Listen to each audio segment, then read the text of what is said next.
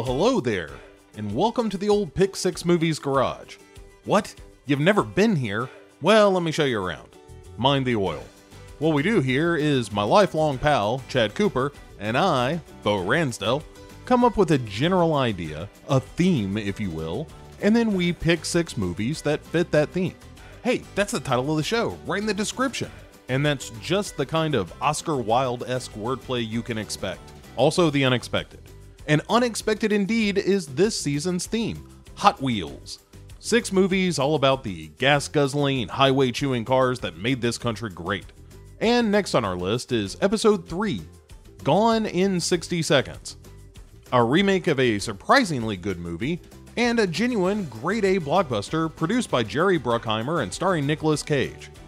But first, Chad's gonna spin a little yarn about the movie, and I'll be back after to rip this bucket of bolts a new one. So, ladies and gentlemen, away we go.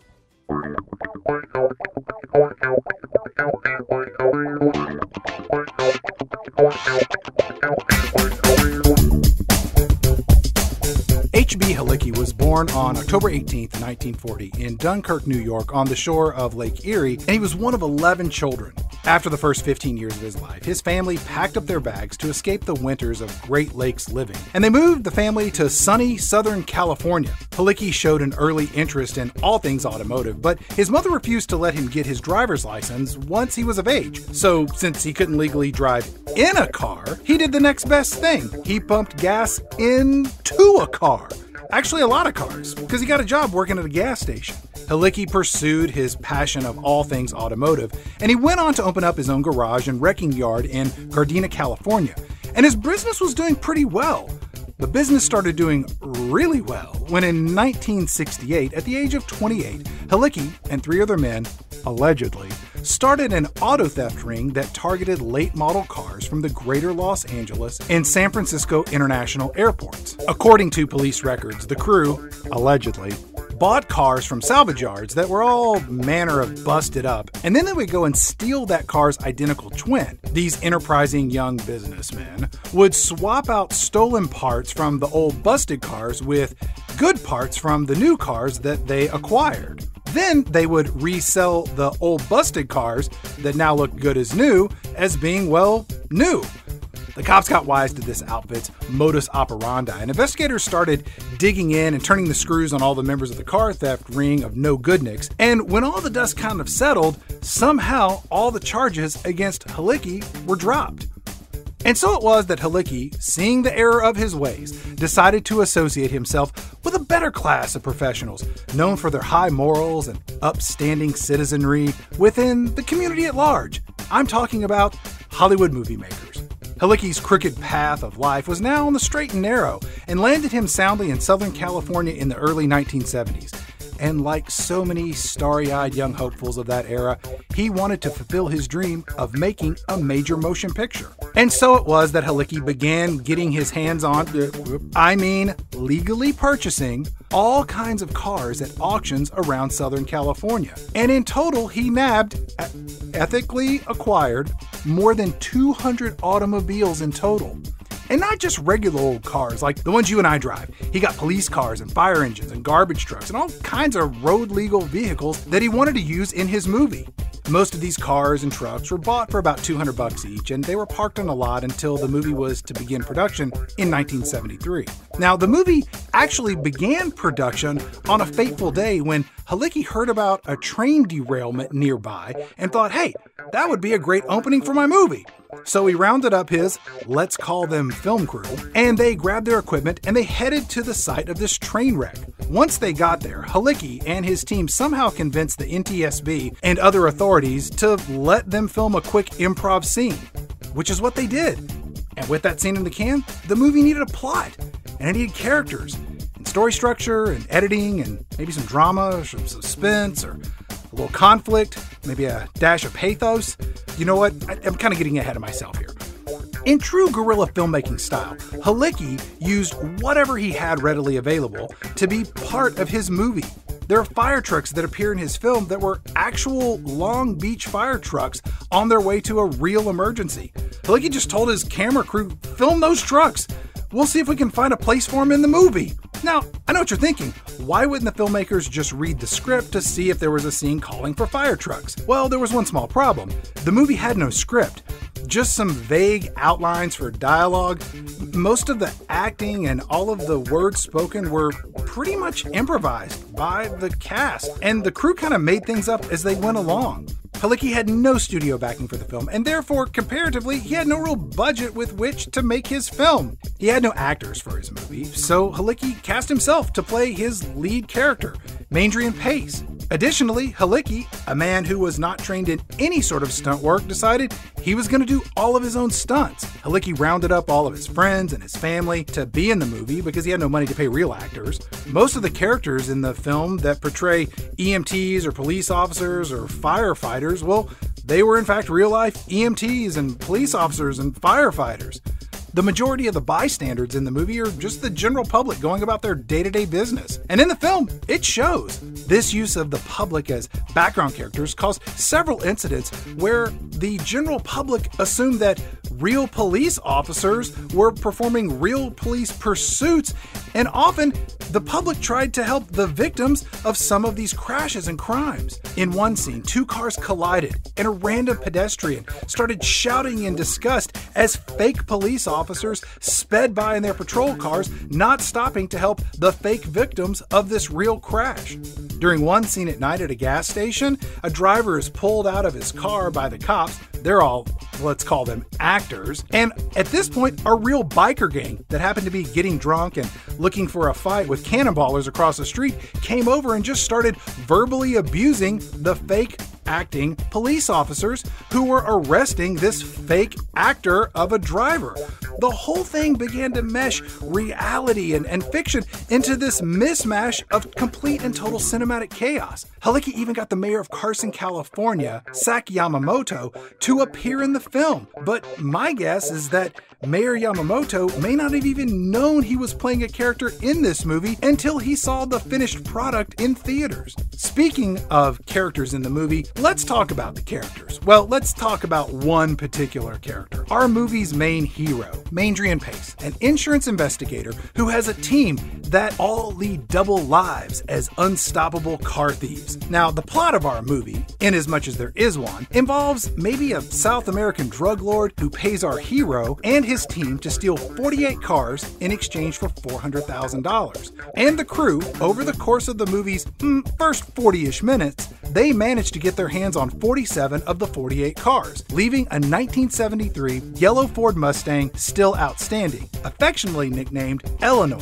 Our hero spies the elusive Eleanor and he goes to steal the final car, but he doesn't know that the cops were tipped off to their plan, which leads to the movie's final car chase through five different cities, lasting a full 40 minutes long. And that's pretty much the whole movie. And it is awesome. According to people who take time to count this sort of thing, the frantic four wheeled 40 minute finale features the destruction of 93 cars in the movie's high speed final act, and a total of 127 cars were either destroyed or damaged during the movie from start to finish. With a notable absence of safety oversight and a clear disregard for the well being of men, women, and children, you probably think that this type of production would produce a long list of accidents associated with bringing a movie like this to the silver screen. And you'd be right. One particular scene, filmed at a construction site, we find a patrol car that goes up the side of a hill and flips over. And none of that was really planned, and nor is the fact that the driver was almost crushed and killed as the car collapsed upon itself as it rolled over. You can see that near death encounter in the finished movie. J.C. Agajanian Jr., who plays a detective in the roadblock sequence at Terrence Mazda Agency, well, he was almost killed when Halicki missed his mark and he hit one of the unmarked Plymouth patrol cars, sending it careening towards Agajanian, who was only missed due to his quick reflexes and dumb luck. You can see that near death encounter in the finished film as well. During the filming of the movie, Halicki himself suffered multiple injuries, one of which was when he was driving the highly sought after Eleanor, the yellow Mustang. It got clipped by a pursuing car, which sent the Mustang into a metal light pole at 100 miles per hour, knocking Halicki, remember, the film's writer, director, producer, stuntman, and star, completely unconscious. Holy shit! According to people on the set, Halicki, after regaining consciousness, asked, Did we get coverage? The balls on this guy. When you watch the movie and you see Eleanor smash into the light pole, you actually hear a guy, again, I can't say in good faith that he's an actor, but someone who's playing a detective in a different patrol car, he sticks his head out of the passenger side window and says, He just hit a damned light pole. This is more cinema verite than it is improvised shtick. The scene immediately following that crash, the one that almost killed the movie's everything, well, it was actually shot three weeks later when Halicki showed up wearing a full leg cast. He had several broken ribs to complete filming the sequence. But that's not all. In the movie's finale, Halicki and Eleanor roar down the street, they hit a ramp, and they launch a good 30 feet into the air over a bunch of cars and they smash down onto the ground below. This stunt caused Halicki's vertebrae to violently compress down on one another, preventing Halicki from ever walking the same again. And you know what? If I pulled off a stunt like that, I wouldn't walk anymore. I'd strut my ass everywhere I went. Mark Twain said it best you write what you know. And that's what Halicki did. He wrote, well, he wrote an outline at least, of a movie about a team of guys that steal cars. And it's no surprise that Halicki's alleged airport car theft ring really resembled the MO of the car thieves depicted in Halicki's first feature film. And I'm speaking, of course, about the 1974 classic Gone in 60 Seconds.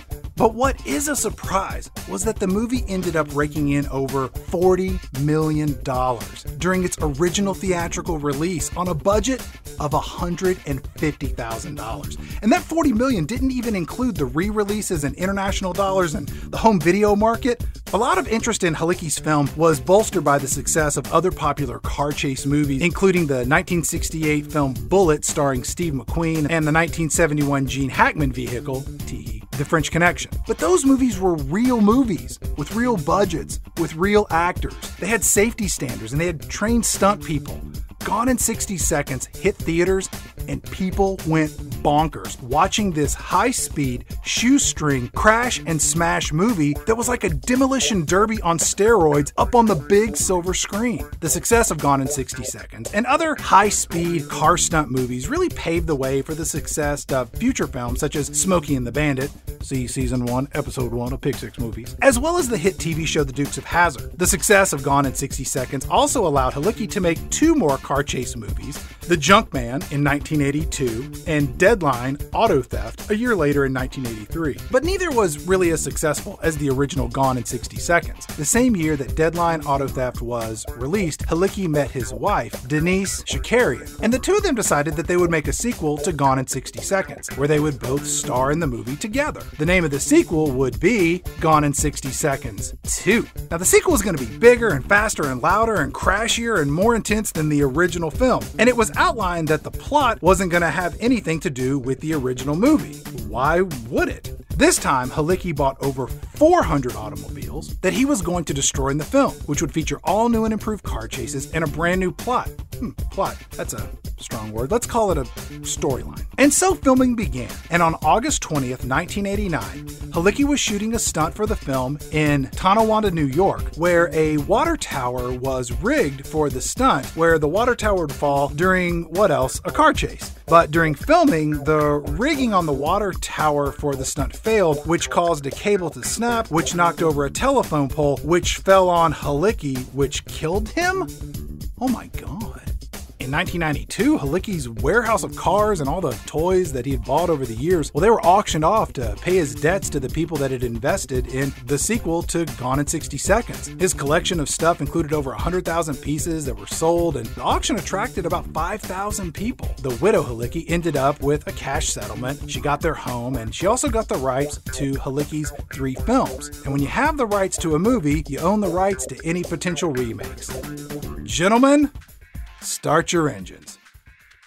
Offers began rolling in from Hollywood to remake Gone in 60 Seconds, and it was decided that Michael Lynton, the head of Disney Studios, who was a big fan of Halicki's work, along with every other 12 year old boy everywhere, well, he was going to bring a reboot to the big screen. Jerry Bruckheimer, producer of movies where things crash and explode, was brought in to produce the film. Dominic Sena came on board to direct the film. Sena had a lengthy career directing music videos for Janet Jackson, Sting, Tina Turner, Janet Jackson, Richard Marx, Michael Bolton, Janet Jackson, Janet Jackson. Man, there's a lot of Janet Jackson in there.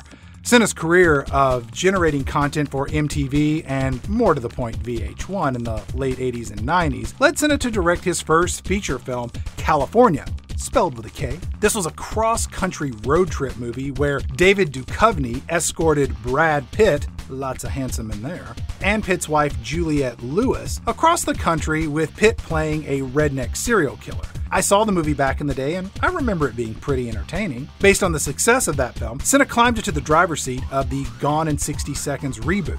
After this movie, he ended up directing Swordfish with John Travolta and Hugh Jackman and Halle Berry and Halle Berry's Naked Breasts. Stepping in front of the camera was not one Academy Award winner, not two Academy Award winners, but three Academy Award winning thespians. Playing the hero of our movie would be Nicolas Cage, who was fresh off receiving his Oscar statuette for his performance as a self destructive alcoholic in Leaving Las Vegas. Alongside Nicolas Cage would be Angelina Jolie, who took home her Oscar for her performance in Girl Interrupted. And rounding out the trio of Academy Award winning performers was none other than Robert Duvall himself, who won for Best Actor in 1984's Tender Mercies. But he should have gotten an Oscar for The Godfather back in 73. He was robbed. And the rest of the supporting cast in this film is really a notch above as well. Timothy Olyphant, who would later go on to play U.S. Marshal Raylan Givens in the FX series Justified, he's in this movie. And no, Alex, I haven't watched that series yet. Giovanni Ribisi, who was in Saving Private Ryan and would later go on to play the bad guy, Peter Selfridge, in Avatar, and is also slated to appear in the ever elusive Avatar 2, Avatar 3, Avatar 4, and Avatar 5. Man, that is a lot from Avatar in there. The movie also stars its own Eleanor, a DuPont Pepper Gray 1967 Ford Mustang Fastback depicted as a Shelby GT500 with a custom body kit. There were 12 fastback Mustangs built and dressed up to look like Eleanor, and each one was designed to perform different stunts. Some were meant to survive jumps, some were meant for high speed maneuvers, and one had higher gearing for the blast over the LA River. Now, of those 12, only seven survived the torture of being stunt cars in the film. The script of the remake didn't really follow the original movie's plot because, well, as noted earlier, the original film really didn't have a plot. And you know what? We're going to wait for Bo to get here before we start discussing the ins and outs of what happens in this movie. Spoilers cars go fast, they crash, and some explode. Now, one thing that the remake did have in common with the original were last minute improvisations, especially when it came to the movie's final chase scene. This proved challenging for stunt coordinators as shooting requirements often change from day to day and hour to hour. During filming, the Vincent Thomas Bridge, which spans the Los Angeles harbor, was actually closed down for an entire day of filming. And at the time of this recording, it's the only time in history where the bridge was actually shut down to the public. To prepare for the lead role in this movie, Nicolas Cage attended the Bondurant driving school in Phoenix, Arizona, and he actually did quite a bit of driving in the film. There are scenes in the movie where a sharp eye can actually catch Nicolas Cage driving Eleanor, performing 180 degree spins and power slides through LA traffic. Can you imagine Nicolas Cage doing something crazy like that? Actually attending driving school before performing power slides? That is truly unexpected behavior from a man whose very essence exudes a confident aura of, don't worry, I've got this. Gone in 60 Seconds came out on June 9th in the year 2000, and it was tops at the box office, knocking Mission Impossible 2 down to the number 2 spot from its prior week debut in number 1. It also pushed down the Martin Lawrence comedy Big Mama's House to third place. oh, Big Mama's House. The movie ended up making around $237 million worldwide, with about 100 of that coming from US audiences. But according to a report in Slate magazine, the movie cost a little over $100 million to make and another $90 million to market, along with other expenses. So that worldwide haul ended up being, well, less than the original movie netted out in revenue. Oddly enough, Film critics loved the movie. I'm kidding. Most of them hated it or were completely indifferent. Go to movie critic and gravy aficionado, Roger Ebert, said of the film Movies like this are what they are. Gone in 60 Seconds is a prodigious use of money and human effort to make a movie of no significance whatsoever in which the talents of the artist are subordinated to the requirements of the craftsman. Witnessing it, you get some thrills, some chuckles, a few good one liners, and after 119 minutes, are regurgitated into the theater, not much worse for the wear. Prodigious?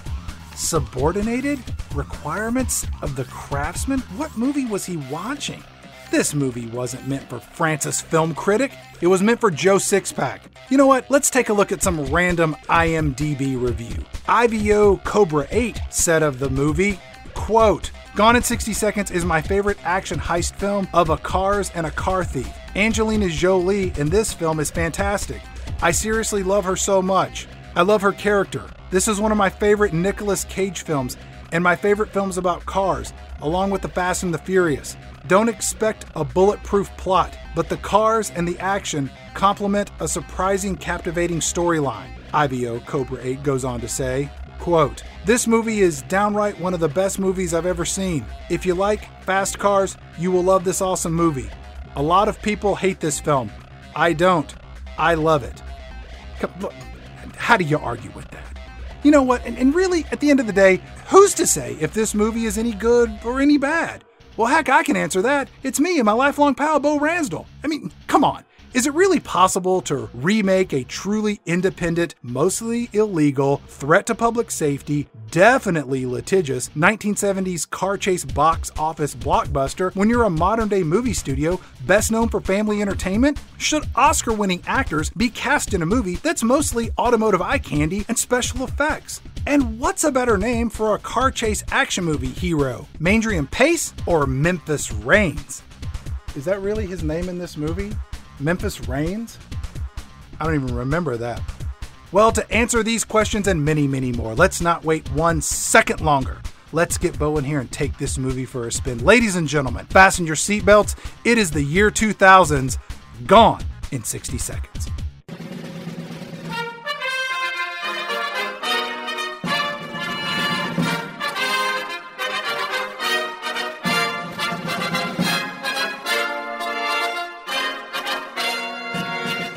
And welcome to Pick Six Movies. I am Chad Cooper. Joined with me, as always, is Mr. Bo Ransdell. Bo, how are you doing this evening? Uh, I am revving to go. Is that an expression? I don't think it is now that I've said it out loud. um, I'm excited. My engine's revved. I don't know, man.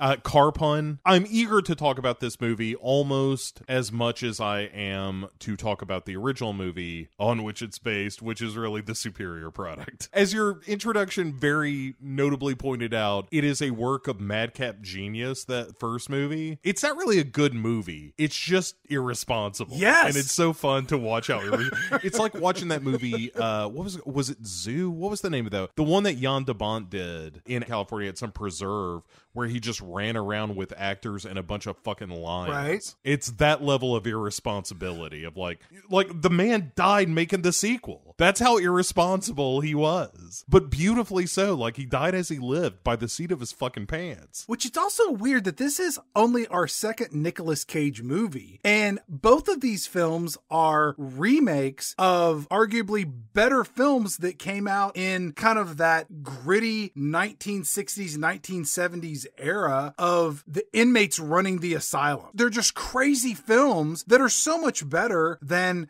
their contemporary counterparts. Yeah, I don't I don't think there's any arguable to it. I think yes, that like the original Wicker Man, the original Gone in 60 Seconds are superior films. Gone in 60 Seconds, the remake, maybe comes closer in that, again, if you're not paying attention, it seems like you're watching a movie. It feels like a movie that was made by artificial intelligence screenwriting software. Right. Well, it has all of the appropriate components of what you think an action movie should be, but it is just absent of any soul because you've got this hero, you know, who gets pulled back into a life of crime because his brother is in trouble. And we've got the brash ex girlfriend, and we've got this sage older mentor, and we got a black guy who is wisecracking. You know, in fact, we got two black guys that are wisecracking, and there's hackers, and there's nerds, and there's two detectives, and you're watching this whole thing because there's stunts and there's a racing its time, and it's all there in theory, but in practice, you just look in its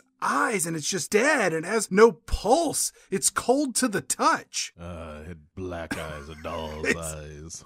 when you look in those eyes and they roll up white. And that gone in 60 seconds starts revving. It really is a movie that gets by a lot on the fact that the cast is really stacked. Holy shit, is it stacked? I mean, like these actors could make a crazy good movie in under different circumstances. It's not this. No. It's also weird how little Nicolas Cage, Angelina Jolie, and Robert Duvall are even in this movie. Yeah, the secret star of this movie is Delroy Lindo. And that ain't no, that's not a bad thing. I will watch the adventures of Detective Delroy Lindo any day of the week and twice on Sunday.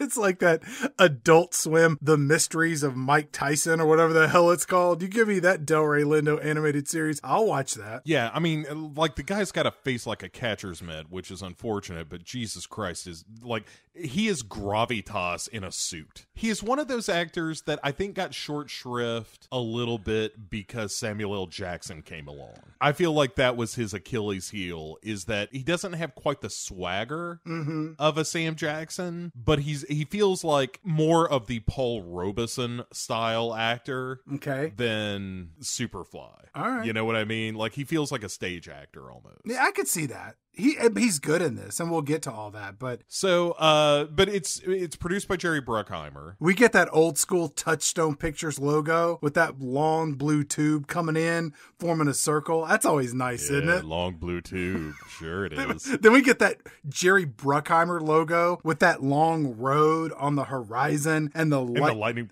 that lightning strikes that tree, and you're like, "Oh man, this means only one thing: there was cocaine on the set of this movie." No shit, man. My note, in fact, is ah Jerry Bruckheimer movies when all the world was made of cocaine. You remember when it used to be Don Simpson slash Jerry Bruckheimer Productions? Don Simpson, Jerry Bruckheimer, and Tony Scott Mm-hmm. are responsible for like half of the cocaine consumption in California in the 80s and 90s. Don Simpson, remember he died, and his initial death was attributed to quote natural causes. But then his autopsy and toxicology report said he died of heart failure caused by combined drug intoxication, specifically citing cocaine and prescription medications while he was going to the bathroom.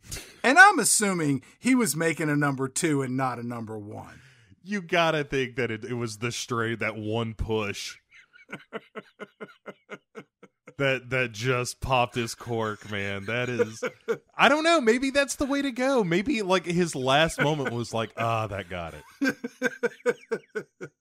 It was like there will be blood. He just was like, I'm finished. yeah yeah yeah so poor don simpson died as he lived shitting on cocaine Yeah. Well, you know what? That's more for the cast and crew of Gone in 60 Seconds. Speaking of which, let's talk about this movie. Before we get to that, one other slight diversion. Is it Tony Scott that Saul Rubinek is supposed to be playing in True Romance? I don't know. I ca- as you ask that question, I also get confused by who Tom Cruise is playing in Tropic Thunder. They all sort of mesh together in these, you know, slightly bloated, coked up movie producer wackadoo types. Yeah. Anyway, well, at any rate, if you haven't seen True Romance in a while, watch the Saul Rubinek scenes. He is hysterical in that movie. So our opening credits of this film, it's this outsourced visual package where the hands of a stopwatch double as a road where we see a car zip around the second hand as it tick tick ticks along. And I'm thinking during this opening sequence, please let the credits ends with all this and Andy Rooney tonight on Gone in 60 Seconds. Yeah, I like the After Effects quality of it though. It it's one of those things that you know at the time they thought this looks great. And now you look at it it's like this looks like garbage. But you know what I like more than an opening credit scene to a movie that has nothing to do with the film itself? I like a second extended opening credit sequence that fails to have relevance to the movie as well. And this movie gives us just that. After the stopwatch, we get this second opening that is full of terrible photoshopped images of Nicolas Cage from his younger formidable years, just posted onto photos of other adults to try to collage together a character and a family history. Yes, this is Facebook quality Photoshop. In this opening sequence, we see a photo of Nicolas Cage and his younger brother and their mom and their dad at a car dealership. And the mom in this photo just looks miserable. And dad looks a little bit happy. I'm guessing that he's, you know, he polished off a little old granddad before this memory was captured on film. He's a car salesman, man. In Sure. like the fifties. You kidding me? you you breakfast is martinis, lunch is scotch, and then at dinner you hit the hard stuff. After we see this first image, the camera just dares the audience to make sense of anything that you see after this. It's like that experiment in Clockwork Orange where throughout this opening, all of the props and photos, they go by so fast, it is impossible to stitch together any sort of backstory or narrative of any of the characters that you see. Yeah, that's because the environmental exposition was gone in sixty seconds, Chad. This Photoshop work is terrible. Everyone's head in these photos are all in the wrong direction. They're the wrong size. The shadows and the lighting are thoroughly inconsistent. It just looks like shit. It really does. It's like that Oswald holding the rifle photo from JFK, where it's like clearly here, if you look, the shadow of his gun doesn't fall. Look, at where the sun is. It's head scratching, man. This is in the dawn of Photoshop, I suppose. You know, this is 20 years ago now. and so at the time, I'm sure thanks to cocaine and the newness of the technology, they were like, this is fucking good, y'all. Look at look at how convincing this is. It looks like Nicolas Cage and Giovanni Ribisi are in the same goddamn yard. and it does not. Not at all. I think it was kind of like when De Niro showed that kid on the plane his scotch taped together FBI ID and Midnight Run. Like, how's this look? And that kid's like, looks fine to, me. Yeah. It's like, no, this looks like shit. This is not passable. So we get to the movie itself. Finally. Yeah, after these these two like they ran out of clock and just were like, "Oh shit, we got more credits. Uh how about we film a sepia antique store for the rest of the credits?" Right. But then they go uh, to Giovanni Ribisi, who is playing Kip, the younger brother uh, in the in the movie. Yep. There's Mirror Man, who's his jive talking buddy. Jive talking, that's code for black, right, Bo? Yeah, well, and he's a bit of a wiseacre as well. Wiseacre, that's code for black, right, Bo? Yeah. well, you know, he's uh I don't know. I don't know of a, a synonym for wiseacre now that I think about it. A ne'er do well, perhaps. Urban? yeah, he's urban. He's an urban ne'er do well. that's what they call him on Fox News. right. A band of urban ne'er do wells Oh. were gunned down by the police tonight. Rightly so. Mother, lock the windows. Get me my pills. Dial 9-1 and just wait. If you see anyone in, in a hoodie, just shoot. Oh, racist white people, what won't you do?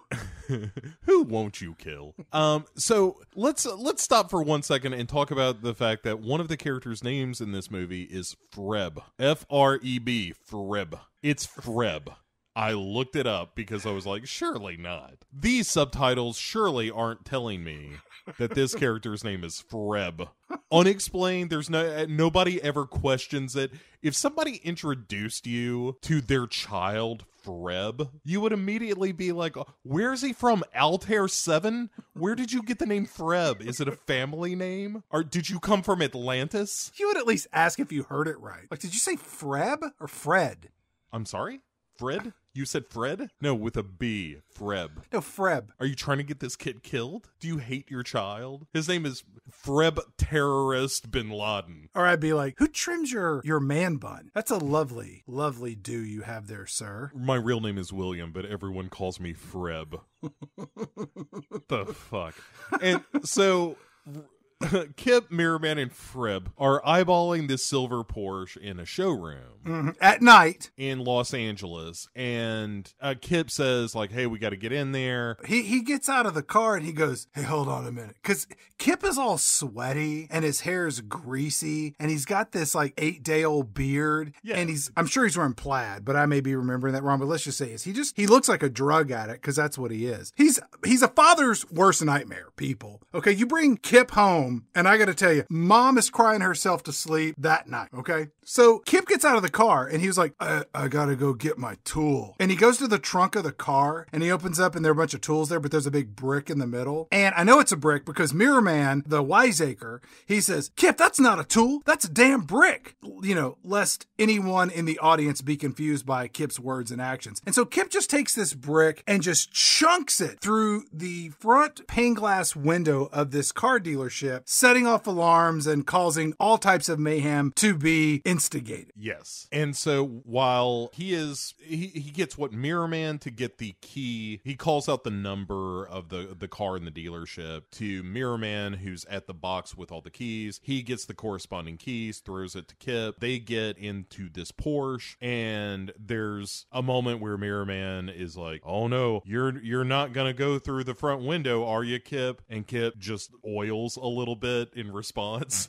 just oozes a little by way of agreement and then takes off out the front window of the dealership. The whole time in this scene, Mirror Man is kind of the narrator of what is happening in the movie for anyone that, I don't know, is in the theater that might be visually impaired. It's a lot like listening to our podcast, except you have visuals in the movie, and it is arguably less entertaining than listening to us talk. Yes, it is 100% less entertaining. Everything that we are going to say, we could stop talking and just have silence for the next 90 minutes or so, and it would be more entertaining than listening to what these actors have to say in this movie. Speaking of, Well, our, our movie's getting exciting, Bo. So let's cut away to a garage where we meet a band of car thieves just hanging out. There's like two or five or seven of them. I have no idea. And the first guy we meet is Tumbler. And my first thought is, hey, this guy's the safe cracker. But he's not a safe cracker. And I was like, well, maybe he's an acrobat or maybe he worked at a laundromat. Maybe he was the lead singer in a culture club cover band called I'll Tumble For Yas, and he was the head tumbler. I don't know why he's called Tumble. yeah, it's not explained. He's it's Scott Caan with a, a shitty handlebar mustache. I don't even know what a Scott Caan is. It's James Caan's kid. Oh my God. Yeah, that's right. Did he do anything after this? Yeah, he was in those Ocean's 11 movies. Oh, that was him? Yeah. He was Brad Pitt. He's been in some stuff. He he I mean not anything like his father, but he he's been in some stuff. His dad was Uh, an elf. And he also kicked a guy's ass down the street in The Godfather in one of the greatest scenes ever committed to film. Hitting him with that garbage can lid. Now that's a fucking fight. He also fu- he fucked a bridesmaid against a wall in that movie. Oh, that was pretty awesome. Sonny Corleone is one of the great characters in movie history. He is such a hot-headed dickhead. He's doomed from the the moment you see him. You know he's gonna get himself killed. He's one of the few guys, aside from Rocky Balboa, that can really pull off a wife beater. Yes, and it- because of the tufts of hair surrounding it, so that the the straps of the wife beater almost disappear in the thicket of his shoulder hair. But speaking of Scott Caan, Yeah, Tumbler. he is introducing the real class of this movie by detailing the stranger, in which he describes sitting on his hand until it goes numb and then jerking off, and then it's like you know a stranger is doing it. It's what every kid has ever heard in middle school. All right, hey, hey, we, we, we got to unpack this. He says, Yo, check out my new move. I call it the stranger.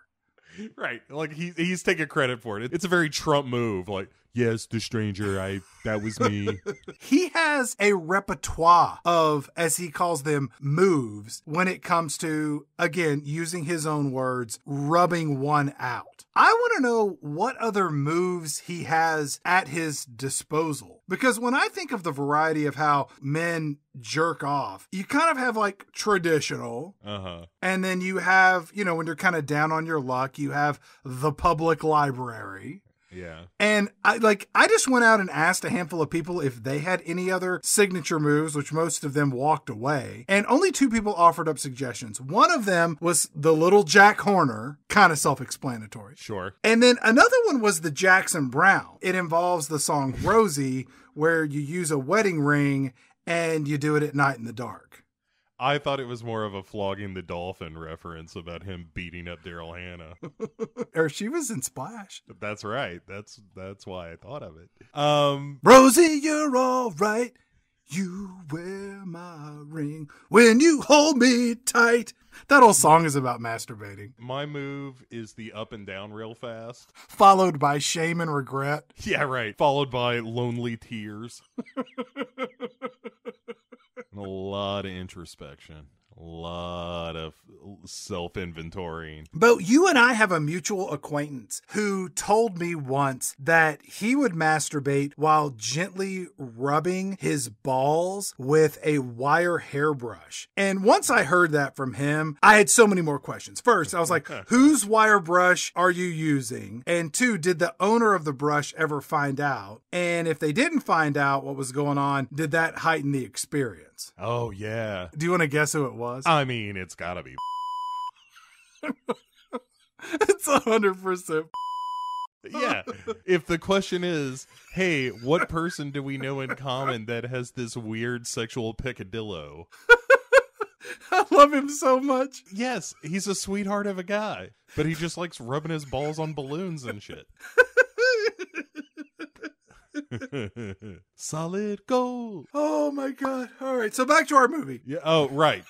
So finally, a real actor pipes up in the scene, which is Will Patton, who is the maybe best known by me at least as the villain from The Postman, and also the narrator of my favorite audiobooks. He is a phenomenal audiobook narrator. He's the elder statesman of our crew of merry band of masturbating car thieves. So Atley is like, hey, where's Kip and Mirror Man and who the fuck is the other guy? Freb?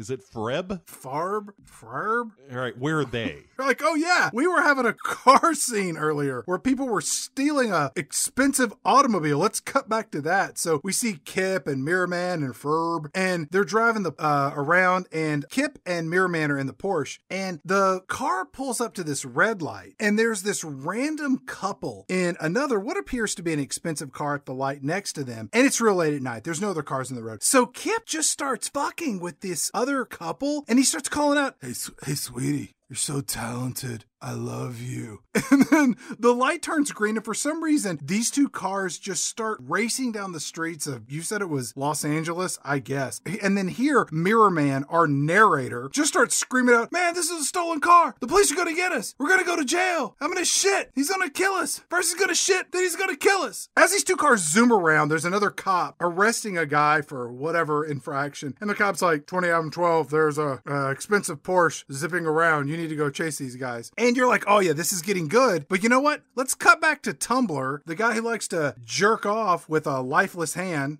It's not what you think. And we see him turning a black light off and on against this wall that displays the names of all the cars that they're trying to steal. And I gotta tell you, Bo, I was very concerned that Tumbler was gonna shine this black light up on the wall and it was gonna look like a Jackson Pollock painting of 101 Dalmatians. Right, like tonight on Criminal Minds.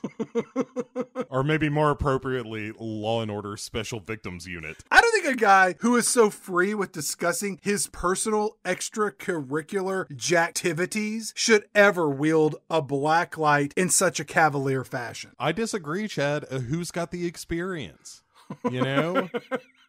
He's cleaning up a crime scene every night. Aside from his semen splatter, posting the cars that they're stealing on the wall in this fashion is the most ill-conceived means of inventory management I've ever seen in my life. It's it's one of those things that happens in a movie, but it would never happen in real life. No, it, it's the equivalent of writing it in lemon juice so that when you a- apply heat to it, you know, oh, look, there are all the license plates of the cars. It's real dumb, but it's one of a million things in this movie that's like, this is not how you would do this. We're going to write our secrets on the walls in this magic ink that can only be seen when we turn on this light. Right. It is in no way portable and we can't quickly destroy it. No! How about this? Why don't you use a computer or a piece of paper? Like if the cops show up, you're 100% busted. Yeah, I mean, this is the year 2000. This is not, you know, 1975. You can get an IBM ThinkPad. As as one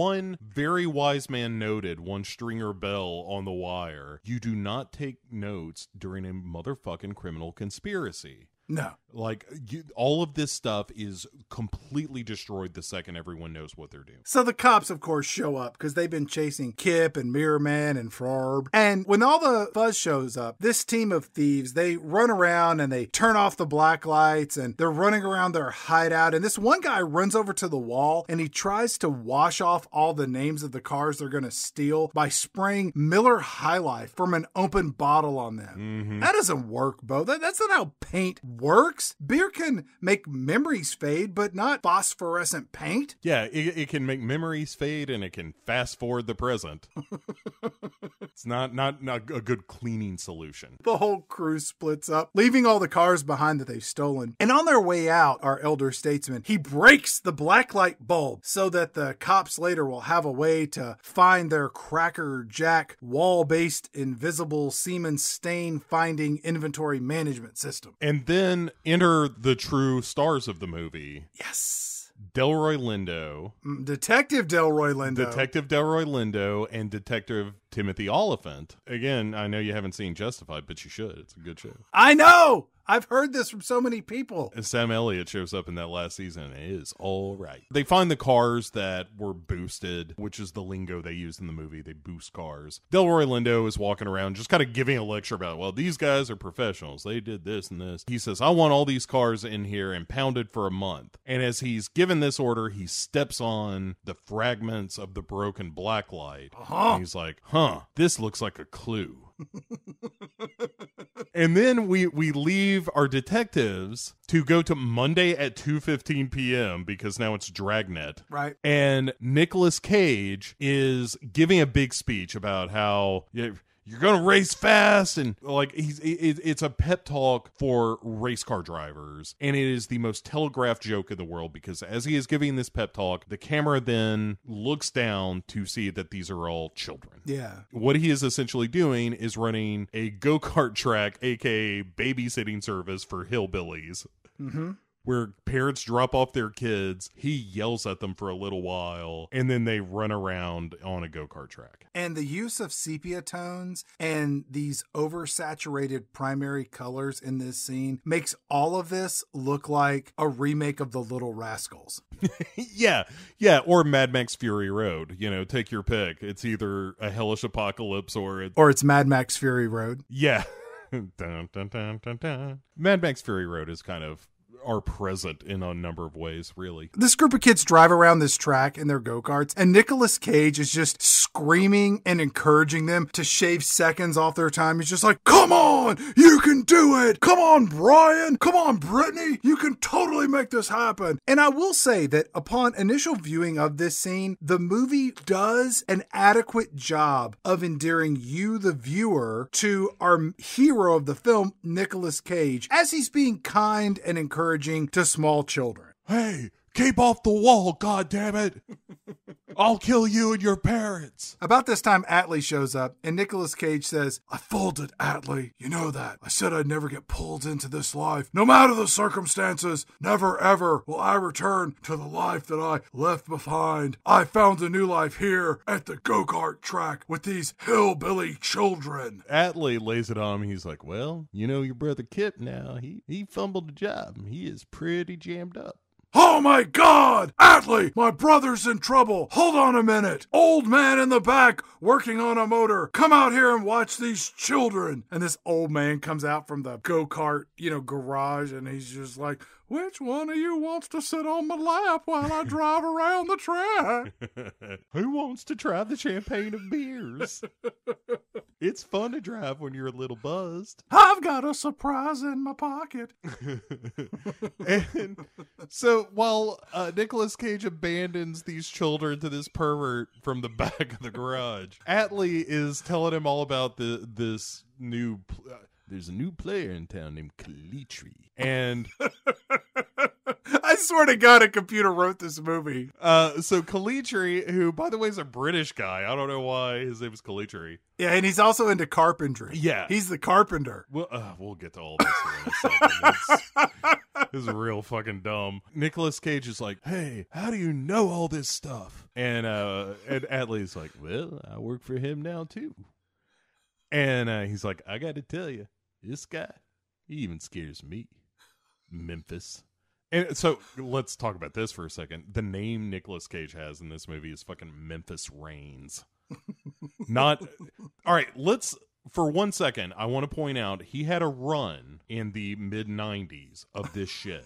like The Rock, he is Stanley Goodspeed. In Con Air, he is Cameron Poe.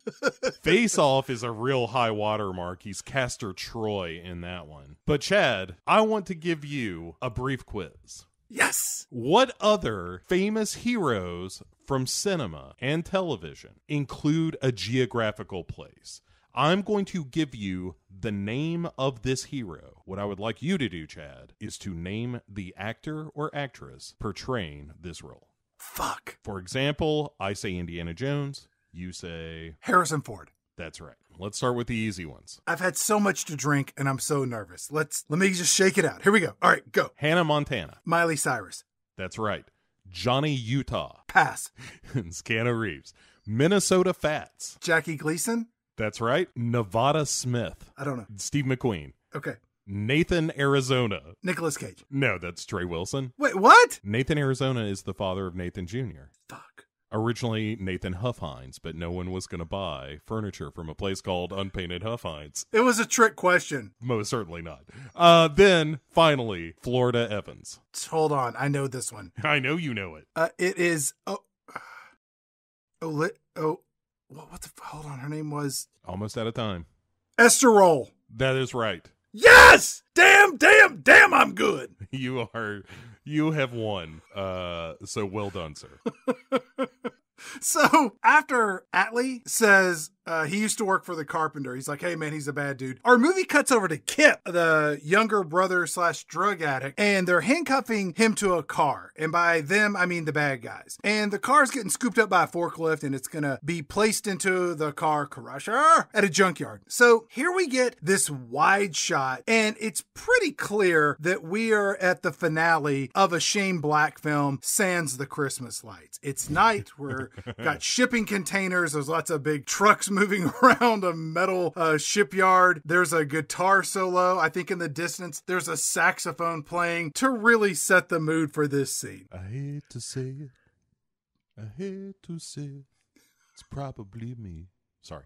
I went So- Lethal Weapon 3 immediately. We cut inside, and here we see our villain, the carpenter, in his lair. And it kind of looks at, like that part of Santa's workshop where there's a bunch of half finished woodworking type carvings that are partially through production, like a hobby horse or a dollhouse or something that no kid would really ever want. Uh, Nicolas Cage comes in and he meets the film's villain, the carpenter. And as you noted earlier, he's got a British accent, which qualifies him to be a sinister bad guy in a 90s era movie, or maybe the definitive opinion on an American television game show featuring singing, dancing, or possibly baking. Yes. He is uh, uh, was later Doctor Who in the reboot of that show for uh, nerds like myself. Was he a good Doctor Who? Uh, he only did it for one season. He was fine. That sounds like a no. Yeah. The carpenter knows about Nicolas Cage's history as a car thief. And then the carpenter just starts spouting off about all of his like wooden tables and chairs he's been building. You don't really give a shit about any of that. In this movie, his carpentry fixation is tantamount to one of those things where they give a bad guy like a quirky hobby, you know, like having a fish tank filled with exotic, you know, sea life, or maybe they play chess. Right. Or they they'll spin around and retract the blade of a butterfly knife. Yeah. movie MovieBot 9000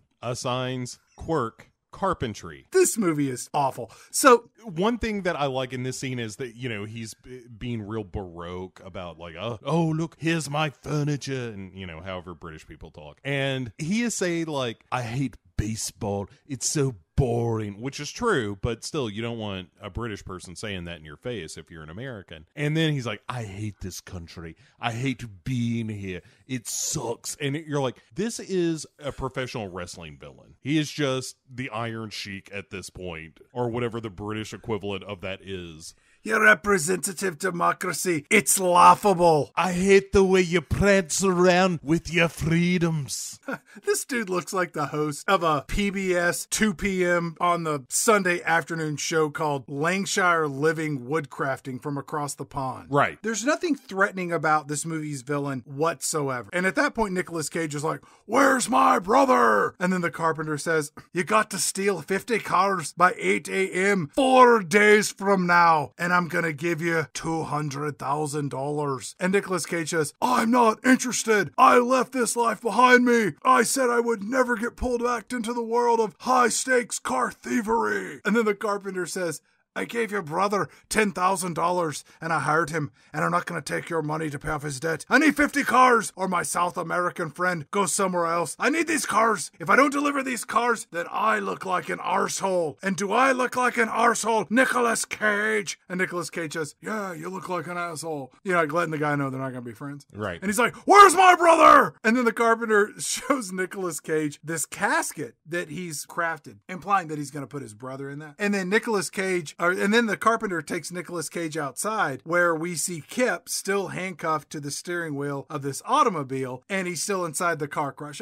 And everybody at this point just pulls guns on everybody. There's like 12 guns that appear out of nowhere and everyone is in threat of being shot by someone else. So at this point, Calitri, our carpenter villain, is like, I'm going to give you three choices. You can either watch your brother die right now, All right, that's choice one. All right. then choice number two, you can do what I say, Yes. fail, mm-hmm. and I kill your brother anyway. I don't like that choice. I didn't think you would. Or three, you get me 50 cars, and I give you $200,000, and we walk away friends. That's only $4,000 a car. That does not seem financially sound. Right, but finally he's like, "No, go on, really, you should, or I'm gonna kill your brother right in front of you." And and finally Cage is like, "Well, all right, I guess." It's such an unsuspenseful moment because the instructions that the carpenter gives him, it goes on forever while in the background, Kip is getting crushed by this machinery. And so they turn off the crusher and Kip gets out, and Act One has arguably ended. Then we go to stupid Act Two. Well, before we do that though, let's just for one second talk about how not only is Christopher Eccleston as Calitri not very threatening, he looks like he's going to give you an estimate on a classic cookie tin as uh-huh. opposed to murder your brother. There's also no real backstory. Like, why the fuck did this guy get sent from Wales or whatever to Los Angeles to open a scrapyard? Wood shop. right to be the go-between between some South American guy who wants 50 cars instead of this other guy Johnny B that we'll meet in a minute and it's just like I don't understand any of this world if you're gonna show me criminal empires mm-hmm. you gotta John Wick it a little bit give me a little bit of backstory give me a little bit of lore The backstory is he doesn't want to look like an asshole. the thing is with the go-to villain comparison here like a Hans Gruber He'll come up later. Sure, but yeah, it will. but he was always kind of one step ahead and he was really clever and you also knew what he wanted. And he was in the movie, Bo. Sure. This guy is in the movie now, and he shows up at the end of Act Three. He's not in the movie at all. right, that's why we have to talk about it now cuz he disappears from the movie after this as we go into act 2 where there's an entire new cast of characters that we're going to ignore. And so we cut to Kip making breakfast in his shithole apartment Yeah. for Nicolas Cage. And it's like a kid making like gummy bear soup or something. Nicolas Cage asks him, What did you put in this? And Kip laughs uncomfortably and says, I don't know. Kip's a drug addict. I, there's just a box with a crossbones on it, and I just put some of that in there, and some eggs, and some jelly, Cat food, um, a condom used, a part of a Reese's cup wrapper for flavor, band aids, dandruff, lipstick, fingernails. one thumbtack. You, you get it. If you get it, you're lucky for the day. Nicolas Cage takes a bite of this food and all but vomits. Yeah, rightfully so. He's just like, oh, this is horrible. Dude, this house looks like the Sawyer home from OG Chainsaw Massacre. It looks like the kind of place you sneak out of when you wake up in the morning not knowing how the hell you got there. Nicolas Cage asks his brother Kip, Does mom know anything about all of this? And then Kip says, No, she doesn't. I got all this under control. And I'm like, Is your mom buried in the crawl space beneath the spare bedroom? To punctuate his moment of confidence, behind him, a pan is on fire from his concoction that he mm-hmm. tried to murder his brother with. I like how he tries to put it out with a grease stained rag. I was just happy he didn't grab a can of aerosol hairspray or toss a gross of black cats on top of it. You're like, I got this. And there's some real good show don't tell writing here where Nicolas Cage just picks up like a bag of flour and, and puts the fire out and once again saves his brother who is an interminable fuck up. Back at the dock, Detective Delroy Lindo and Detective Timothy Olyphant, they show up and they shake down this informant about the delivery date for a bunch of cars. And we cut away from that to Nicolas Cage arriving at a diner. And he walks inside and he says, I'm looking for Helen Raines. My name is Memphis Raines. We have the same last name. And this waitress is like, Helen, somebody's looking for you. And then Helen says, What guy? What's he look like? And because this movie assumes that the audience is full with dummies, Nicolas Cage says, He looks like me, your son. Me. Memphis Raines. And you're my mom. You are the one who gave me the nickname Memphis. Don't you remember, Mom? Nicolas Cage has flowers in his hands for his mother, and she said, looks at me, she's like, What do you want? And then there's a cop in the diner who sees Nicolas Cage, and he calls up Delroy Lindo, and he's like, Hey man, Nicolas Cage is here in this diner with all those women that have cigarette smoke, raspy voices. And then Moms and Nicolas Cage, they sit down and they start chatting at this booth, and then Nicolas Cage spills the beans on Kip being a screw up, and Nicolas Cage says, I can help Kip, but it means me doing things, things I said I would never do again. And the mom's is like, Do it, Nicolas Cage. You gotta go save Kip. He's a fuck up. Are you sure? It could mean long division. You know how I swore. I would never see a remainder again. Look, Kip's my dealer. Go save him. The mother, by the way, for nerds like myself, will recognize uh, Grace Zabriskie as the mom here, who was Laura Palmer's mother on Twin Peaks. I didn't recognize her at all. Well, of course not, because you haven't seen Twin Peaks, you uncultured Philistine.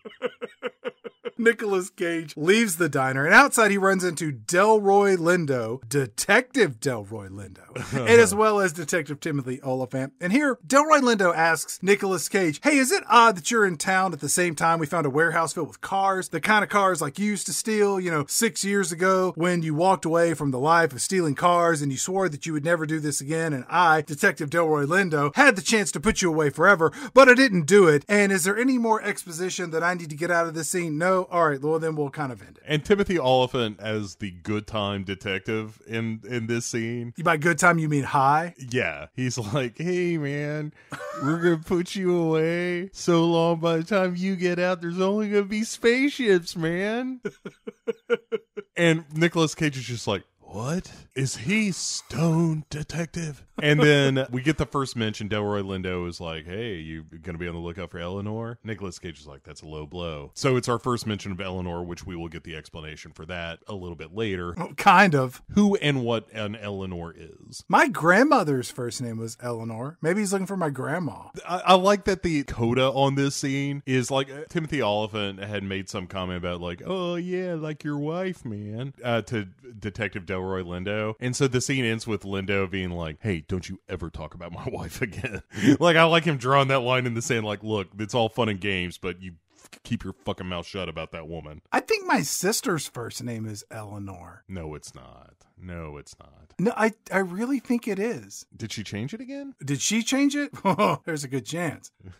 She's a handful. Sure, she is. So Johnny Cash is singing Folsom Prison Blues, Chad, as we come to the garage, uh, which is going to be a, a large portion of our movie, mm-hmm. Where Robert Duvall is kind of flirting with uh, Frances Fisher, aka his wife Junie. Frances Fisher is too big of an actress to be playing such a shit role. I mean, I know Duvall is too big to be playing his shit role, but for her, I was like, you know, you deserve better. Yes. Because all she does in this movie is give somebody the stink eye and walk off. And is in the background at the end of this movie saying nothing. Yeah, she is completely wasted in this. So Nicolas Cage finds Robert Duvall and he's like, Hey, you know how we used to work together and you had a chop shop? What are you doing now? And he, Robert Duvall tells him that he he doesn't destroy anything anymore. Now he creates, he restores cars. And uh, Robert Duvall's like, hey, hey, let me play uh, a tape for you like I used to in the old days there, Nicolas Cage. Uh, see if you can recognize it. And he plays this sound of just a car engine revving. Uh-huh. And it's like, oh yeah, that's 1961 Le Mans. And just like all this crazy detail about this engine. And he's like, it's a V12. And Robert Duvall, being Robert Duvall, is just like, that, that, you got it just right, Nicolas Cage. That's a V12. It is so good to see you. Then Nicolas Cage is like, hey, you remember I had a brother named Kip? Anyway, he's in trouble with a guy named Calitri. And Robert Duvall's uh, is like, yeah, I, I, I heard a name. He is a, a jackal feeding on the soft underbelly of this city. Isn't it amazing how Robert Duvall in anything is just perfection? Yes. Like, remember when he was in that Scarlet Letter movie? That was just an abortion of a train wreck of a film, but his performance, you're just like, man, he's good. Yeah, he makes everything better. Like we in our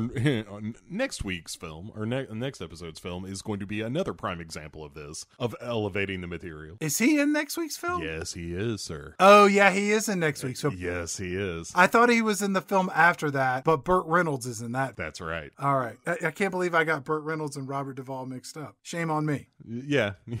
They're both awesome. uh, Robert Duvall, funny name. so, but Robert Duvall is like, look, you know, I, I asked you not to come back here. Nicolas Cage gives him the lowdown. He's like, I've got to steal 50 cars in three days. And if we don't do it, Kip is dead. So Cage is like, look, you got a good thing going here with that redhead. I think that's Clint Eastwood's wife. and you're walking on dangerous ground, Robert Duvall. He talks to stools. It's not what you're thinking. That man single handedly took Grenada. I saw the movie. And as he's about to leave, Robert Duvall's like, wait, before you go, just, you know, these days I'm all about second chances there. Memphis Raines. And uh, he's like, all right, let's commit some crimes. So then we start to assemble the team. Right. The- supposedly, like the one of the best parts of any movie where you're getting the gang back together. Ocean's 11. This movie is not. No. so our first candidate is Chi McBride, who plays uh what it, Donnie. in this movie, and he's teaching a driving lesson. The driver is surprise, surprise, a very bad Asian woman driver. And Donnie's a black guy. That's kind of important too. Yes, he says to her like, "Look, maybe you should just give up. I can't swim." So I keep my black ass out of the pool, which is the best joke in the whole movie. Bo, you know a white guy wrote this film, right? I do know that. it's painfully obvious. Um, and he shows up in this movie. God bless him. so she uh, starts crying. She sounds like a balloon squeaking out air when she cries. It's like Yeah. Right. Just stop. Donnie gets a call on his cell phone and he's like, Who is this? Memphis Raines. Oh, I'm in. And just gets out of the car like the beginning of fucking stripes and just abandons the car and this woman completely in the middle of the road. But what you would expect in a better movie is that we would then proceed to go through other people getting a call and being like, "Oh, Memphis Raines needs me. I'm on my way." No, because this this movie needs to be two hours long for some ungodly reason. But then everyone that they call tells them to fuck off. You get Donnie, and then it's swing and a miss, swing and a miss, swing and a miss. No one else says yes. yeah, until they get to like the last two names on their list, which are Sway and Sphinx. Right. And Sphinx, uh, it doesn't talk. It's Vinnie Jones not saying anything in this movie. They they call him up and he's working at a morgue and these two I don't know like interns or something are arguing about how a guy who can't talk is going to answer a phone call and then Sphinx picks it up and you hear Nicolas Cage say, "Hey Sphinx, press 1 if it's you." And then Sphinx goes "Burm." and I was like, "Well, how does Nicolas Cage know that this is actually Sphinx? It could be anybody." Yeah. Sphinx, if it's you, do absolutely nothing. You've made me the happiest man in the world. Press nine for Espanol. According to some reports that I read, Sphinx was supposed to be a character that had his nose missing, but they changed it up because it was kind of a pain in the ass to do the makeup of a missing nose guy. Hmm. And my question was, well, why not just change the name of the character? Call him Keaton or Teller or Silent Bob, considering how they rip off that character's signature bit in the last two minutes of this film. Yeah, this movie doesn't have an original bone in its body. I mean, it's a remake, I know, but it not only does it rip off the original material, it's just a catch as catch can of 2000s movies. Scriptbot 2000 Clerks is funny. Will use material from that film for reboot of Gone in 60 Seconds. Comedy is unexpected.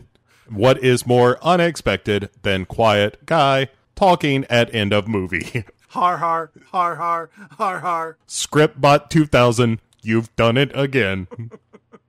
Another jewel in the cap for Scriptbot 2000. Scriptbot 2000. I need you to crank out something called the Santa Claus 2. Santa Claus needs a wife. Scriptbot 2000 is on the case. We subtitle it The Mrs. Claus. Har har. Scriptbot 2000. Can you do any wrong? We don't even have to pay this guy. You just plug him in and he cranks out the hits. Am I right? Touchstone. Scriptbot 2000 would like some of that cocaine. it can work more efficiently with cocaine. I don't know, Scriptbot 2000. This stuff don't come cheap. Scriptbot is pretty sure it can increase output 4000%. 4000%. That sounds like a lot. Boys, get Scriptbot 2000 as much cocaine as he wants. Mm, that is the good stuff. That's pure. All right, I'm ready to do Santa Claus 3 now. Has anyone here heard of Jack Frost? it writes itself. Har har. I mean, Scriptbot 2000 writes it. I need more cocaine. this is getting expensive, Script.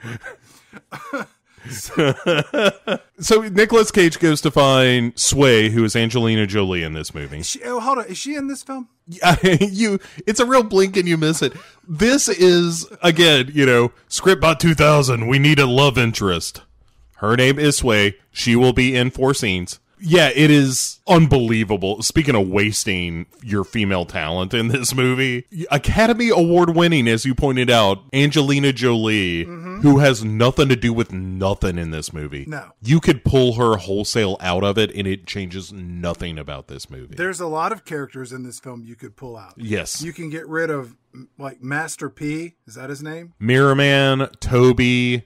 Just, Freb. Hell, half the cast. You can get rid of all of them. Yeah. And the movie does still keeps on rocking and rolling. But her character, she's got like these like crazy pool blue eyes that you could just swim in. Like Paul Newman's got nothing on her. And she's got these blonde dreadlocks hanging all down. She looks like the lead singer of Four Non Blondes, which is kind of an oxymoron. I guess maybe because of her hair color. But at this in this scene, Angelina Jolie, she pops up and she asks Nicolas Cage, Hey, what time is it? Angelina Jolie points out, Hey, I'm late for my other job as a bartender. But as Angelina Jolie leaves the garage where she works her day job, her character takes a good hard swig out of this tiny can of gasoline. Yeah, I assume that that is not gasoline, that that's hooch or something, but maybe it's gasoline. I don't know. I assumed it was gasoline. And I was like, look, man, I've known a lot of drunks in my day, but you're the best I've ever seen. You you are a very good drunk.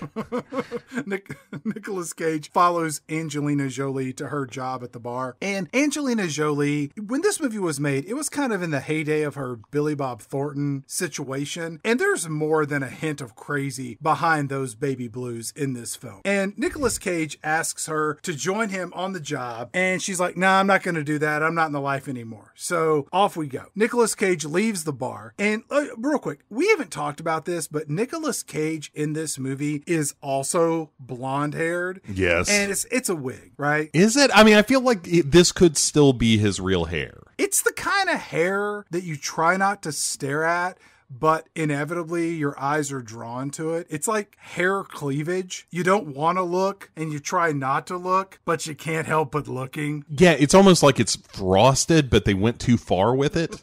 so he follows her to her second bartending job. Well, he goes out he goes outside, and it's here that he meets rapper Master P, and he's playing a character named Johnny B. Yeah. You think Johnny B's last name was good? Oh, if only. Hey, Chuck, yeah, it's Marvin, your cousin.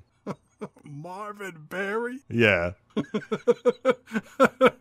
That's the kind of exposition that you'll find in a movie like Gone in 60 Seconds. Marvin Barry. Everyone got it? I like the emphasis on Barry. Uh huh.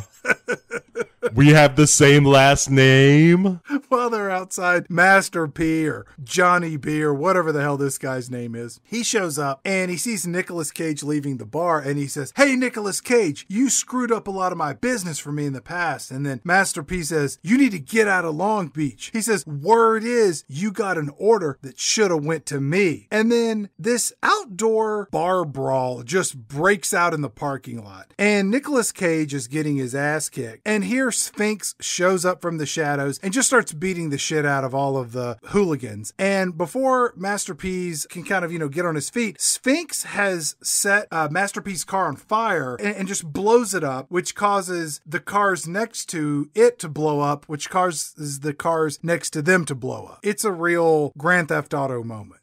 yeah, everything explodes. Nicolas Cage is rescued by the Sphinx, and they uh They just leave, Bo. yeah. There's no need to speak to the authorities about all of these exploding cars. Just let's fuck off. All right. Yeah, as George Carlin said, like you don't want to be there. You don't want to be there for that. They've got a lot of questions you're not going to want to answer.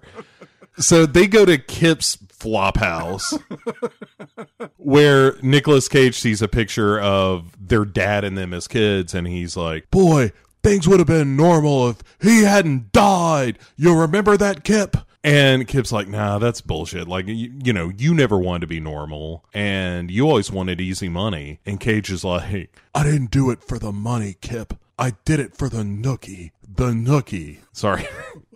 and then he says, I did it for the cars. This is the point where I'm thinking, this movie is two goddamn hours long. And we're just dicking around with these two hillbillies jibberjawing at each other. They're on a clock, man. They got to deliver 50 cars right. in four days, and they're just dicking around. Where's the goddamn action in this action movie? There is none, Bo. There's none. There is nothing that happens in this movie at all until the very end of Act Three, which is such a disappointment. Yes, the last 30 minutes has action in the action, uh, in the action film. and it's not very good. Eh, there are a couple of things that are pretty good. We'll get to it. But so Cage finally tells him, like, Kip, you're going to want a normal life someday, or you're going to end up in debt or jail. And and then it's just like, ah, fine, fuck. What as long as we get out of this scene uh, intact. And then we cut back to the real heroes, Detective Timothy Olyphant and Detective Here we go. Delroy Lindo. And Olyphant says, Hey, we tracked an employee down at one of the dealerships who's got a jacket. And for you and me, Chad, that means he's got uh, a criminal record. Oh. And that he's been ordering keys from Germany, which is this like fancy laser cut kind that you have to special order from the manufacturers, which seems to be, Chad, a clue. Yes. So let's cut away from that Sure. to Nicolas Cage and uh, Chi McBride, who are going over this list of cars, which includes an Eleanor, which it turns out is a code name for a 67 Mustang. Sure. Once that exposition is out of the way, Kip and Freb. Ugh. And Mirror Man and Toby and Tumbler and all these fucking miscreants show up. Mm-hmm. And Kip is bitching about like losing all this money and the brothers are shouting at each other like Nicolas Cage and Kip are yelling at each other about the Kip getting himself in this position in the first place and all that shit. And Duvall pulls him aside and is like, "Hey, for practical reasons, we kind of need your brother and his dumbass friend's help." Right. Because you may not have heard from the plot of the movie, but we've got to steal 50 cars and we've got less than 3 days to do it now. Nicolas Cage says, Do you guys have any skills? And Kip says, Oh, yeah, man. Mirror Man has some gadgets, and Tumbler over there, he jacks off with a dead hand. It's not what you think. uh, Toby, I think he's a computer genius. And the audience is just like, Who's Toby? What is a Toby? Have we even met this character? Right. And then Toby spouts off all the things he can do, like, hey man, I can hack into the DMV, which you're like, no, you can't.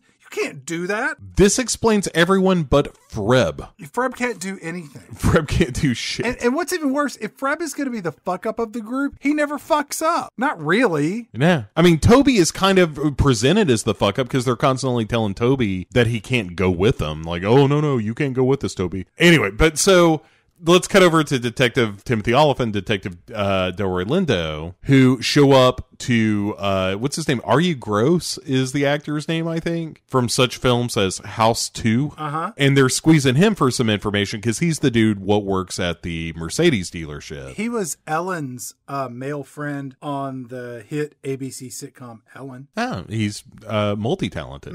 So as they're putting the squeeze on him, he's like, "Look, uh, so some guy came and asked me to order these keys. I don't know what his name was. We kept it all kind of on the down low. I don't know what his name, but he looked like he uh, a boxer is what he says. He resembled a boxer. Cut to uh, the garage, and we see dumbass Tumbler looking like a boxer, and then Duvall is kind of giving them a lecture about how like, hey, we got to do the all all of these car thefts need to be done in a single night because if they spread it out over a couple of days the cops are going to get wise to it they're going to you know be on the lookout. If they do it all at once essentially by the time the cops realize that the first set of cars is stolen they're going to have most of the cars in hand Bo, you're almost an hour into this movie, and there has not been one single car chase. Yeah, I mean, the closest you came is, is, you know a little bit of business at the beginning with Kip, but that's not really a car chase. Not really. We cut to Nicolas Cage, and he is now at a car dealership where his character is acting like a smarmy asshole to get the inside scoop on where Nicolas Cage can find all of these new cars in a warehouse. And Bo, this is where the movie should really start to come together, but it's this point in the film where it all falls apart because every character in this film begins to act and behave in ways that are completely different than everything we've seen every character in this film exhibit up until this point in the movie. Yeah, this performance with this car salesman, it's just it's just performance art. Hi there. My name is Smarmy McJackass, and I'm super wealthy. I'm looking for an elegant automobile that will help me to get pussy and get laid. Can you help me, my good man? And you're just like, what? What about this character has even remotely implied that he is capable of going in and behaving this way with such a level of deception? It's just incomprehensible. And kind of like merry mischief as opposed to I am trying to save my brother's life. The thing is, it's not truly bonkers Nicolas Cage. Like it's not super over the top in a way that's entertaining because of just how out there he'll go. Right. It's just him being, like you said, it's just him putting on the, this facade of being kind of a, a, a smarmy dick. And yes, it does not work at all. The end of the scene is him getting a list of everything, of all the fancy cars in the warehouse of this dealership. I hope those cars match up to all the cars they got to steal. Apparently they do, and we'll get to it in a minute. But back to our detectives.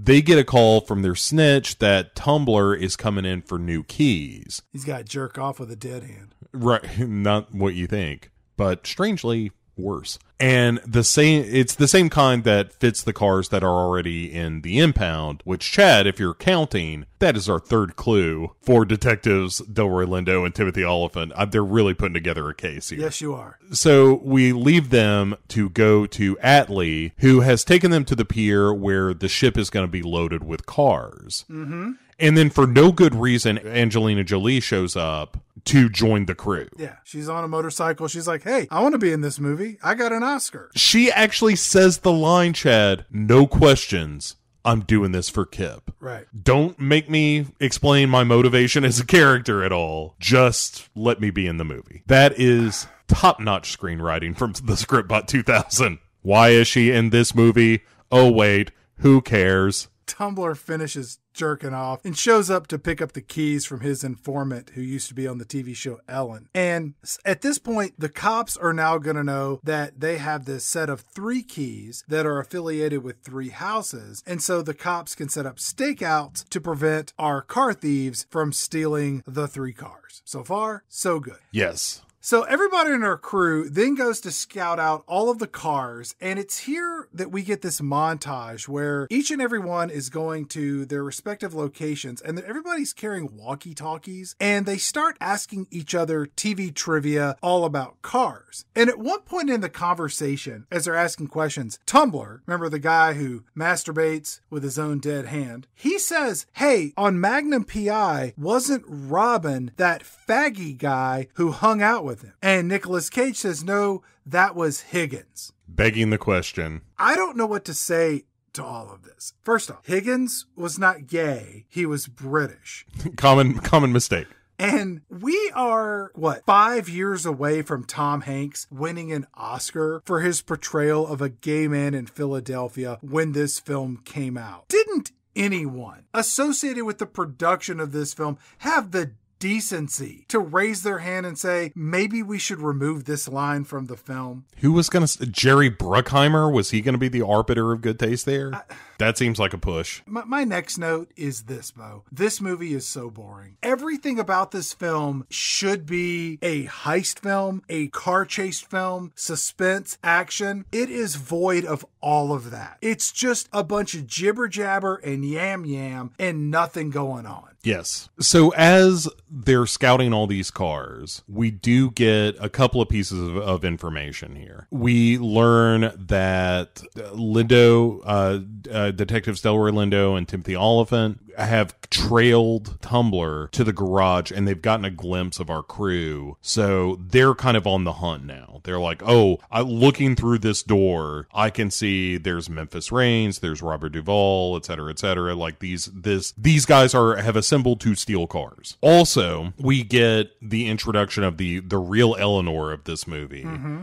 where Nicolas Cage shows up in this parking lot to just talk to it for a minute. Like a crazy person. This is the Nicolas Cage I know and love, where he's like, All right, look, I know we've had some differences. We've had some rough times, Eleanor, but I think you and I are gonna get along just fine this time. Okay? Uh, Chi McBride is explaining like this is his unicorn. That every time he tries to to boost a, a 67 Shelby GT, something goes wrong and then Freb, uh, who is just there to take pictures of the license plate, does so, and they take off. Right. Nicolas Cage and Kip are now driving along together as you would do when you had nothing else better to do with a TikTok time frame to get your shit done before your younger brother gets murdered. And as they're cruising along, Master P shows up with his crew of thugs, and they start shooting up the car that Nicolas Cage and Kip are in. And Nicolas Cage and Kip, they just jump out and they run off on foot through through a nearby neighborhood. Again, in a movie that is supposed to be about fast cars, this movie devolves into a foot race that's more like the nighttime version of the Ferris Bueller finale. And Kip and Nicolas Cage,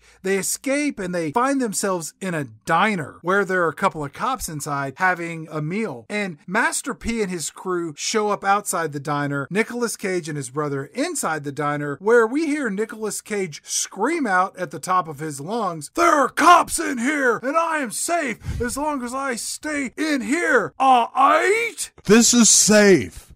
Alright? No tagging in the diner with the cops that are right here at this booth. You see them? I'm standing right here. My balls are practically sitting on their table. These cops here. We're safe. Have a modicum of discretion, Nicolas Cage. He is not a very good criminal. No. He's a good driver. Kip goes outside at this scene and he attaches a long cable to the front axle of Master P's car while Nicolas Cage is inside the diner. And Nicolas Cage is talking to some truck driver. And the truck driver's got this big rig. He goes outside and the cable, if you can believe it, Bo, it's actually attached to the big truck that the truck driver drives. And the truck driver pulls off and it rips off the front axle of Master P's car. And then the two cops run outside and see that Master P and his crew are holding highly illegal guns. And so they're under arrest. And most likely they are not going to appear in the rest of our movie, which they don't. That's correct. Why is any of this in this film? Why is Master P in this movie? None of this is necessary. Yes. Th- this is all filler, no killer. I have no idea. But so we move away from this nothing. You want to waste some more time? Let's talk about the next scene that doesn't matter at all. Oh, yeah. So Freb shows up with a car he stole. That's not on the list. Right, not and Cage is giving him the business like, "Hey, if we're committing crimes, we're doing it for a reason." It turns out there's a bunch of heroin in the trunk of this Cadillac that he stole, which is the throwback to the original movie where the same thing happens. They steal a car, but it's not part of the 48. It's a scene earlier in the movie before that happens. So they're right, kind of mashing up the two. Cage tells him, "Take this car back where you found it." And before that can happen, there's a bit of a tussle and a bunch of heroin spills onto the floor of the garage, which is notable because now Detective Delroy Lindo shows up and they're very quickly like stashing the heroin in the trunk and, and hiding all their crime plans that they've got littering the garage. He comes in, he's like, well, well, well, look at all these fucking criminals. What are you all doing together? And Nicolas Cage is like, no, it's not what you think. We're just having kind of a reunion of sorts. And Delroy Lindo then starts asking, Hey, uh, you know, I see that you're restoring some cars, but why on earth, who on earth would want to restore a 1983 Cadillac Eldorado? And Robert Duvall is like, "Oh, I think it's you know sentimental value or something." Delroy Lindo is like, "All right, all right, let me uh, let me just call the tag in." So they call the he calls the plate in and they run it, and it's like, "Hey, the car's clean." It hasn't been reported stolen yet. Right. And so Nicolas Cage is like, "Hey, why don't you get in and try it out? What you think I just stripped this thing or something?" And he's like, "All right, I'll you know I'll give it a shot." And he gets in and he starts revving up the engine. Detective Delroy Lindo does, and unwittingly, as he's revving the engine, it's blowing exhaust, which is blowing away the pile of heroin that didn't seem like that big a deal in the first place. Mm-hmm. And then they got away scot free, I guess, when anyone could have just bent down and swiped it away or something. I don't know why this was a big deal, but anywho, In the original movie, this scene is much better. it's actually funny in the, the original. It's movie. funny and it kind of serves purpose. In this, if you've seen the original, you maybe acknowledge that they're paying homage to that. In this movie, if you haven't seen the original, it's just a colossal waste of time. Yeah, no, he actually like Delroy Lindo is just like, guess nothing is wrong here. Catch you later, Nicolas Cage, and then he leaves. Yeah. done and done. So, but when he gets back in his car, Detective Delroy Lindo tells Detective Timothy Olyphant, "It's definitely happening because I saw a note inside that had all the call signs of the cops working that night." So he didn't find. I mean, that's I guess clue number four. I, you know, at this point, like everyone has told them exactly what's happening. They just aren't putting it together. Right. So, meanwhile, inside, Nicolas Cage is like, Look, all of your decision making privileges have been taken away. The cops are on us. If they see something weird, they're gonna bust us all. So if you see anything, if you see any strange cars or anything out there, walk away. And also get rid of this goddamn car. He reads everyone the riot act, and now we are off to the races, Chad. It is time for action. Finally, I guess, because we see Nicolas Cage unfurling his old school leather duds that he wears when he steals cars. This movie is so boring. Nicolas Cage then uh, he's surrounded by all of his car thieving friends, and he looks over at Donnie, the car instructing jackass. He looks over at Donnie and he says, "Hey, play Low Rider." And so Donnie hits play on this boombox, and Low Rider starts playing and everybody just goes into this trance to get ready for their barrage of car stealing. And it's at this point in the movie that Nicolas Cage goes full on Nicolas Cage and then just embraces the craziness that you expect from Nicolas Cage. There's a lot of woo, yeah, let's do this. it's this thing where like you you've probably seen memes of this before where it's him kind of like shaking his hands and then snapping them and he says let's ride this is quality Nicolas Cage this is what I came for We get this montage of random characters starting to steal cars, and you don't really know who these people are or what they're doing. It's just one person we kind of know, followed by another person we sort of know, all stealing random automobiles here and there. It's really poor filmmaking at its best. And I have no idea what Angelina Jolie is good at doing in this movie, but she does that and she steals a car. Maybe she monkeys with an engine or an ignition. It's just a bunch of shit that happens. There's like vroom vroom. And then one by one, the crew starts stealing cars. And then at one of the houses, it's here that we see Detective Delroy Lindo and Detective Timothy Olyphant, and they are on stakeout at one of the three houses associated with the keys that they were tipped off to. And some minivan pulls in front of their field of vision, so they have to move their surveillance van around. We cut back to Donnie and Freb. They're stealing a car. Then we see Mirror Man stealing a car. I think he's at a casino or something.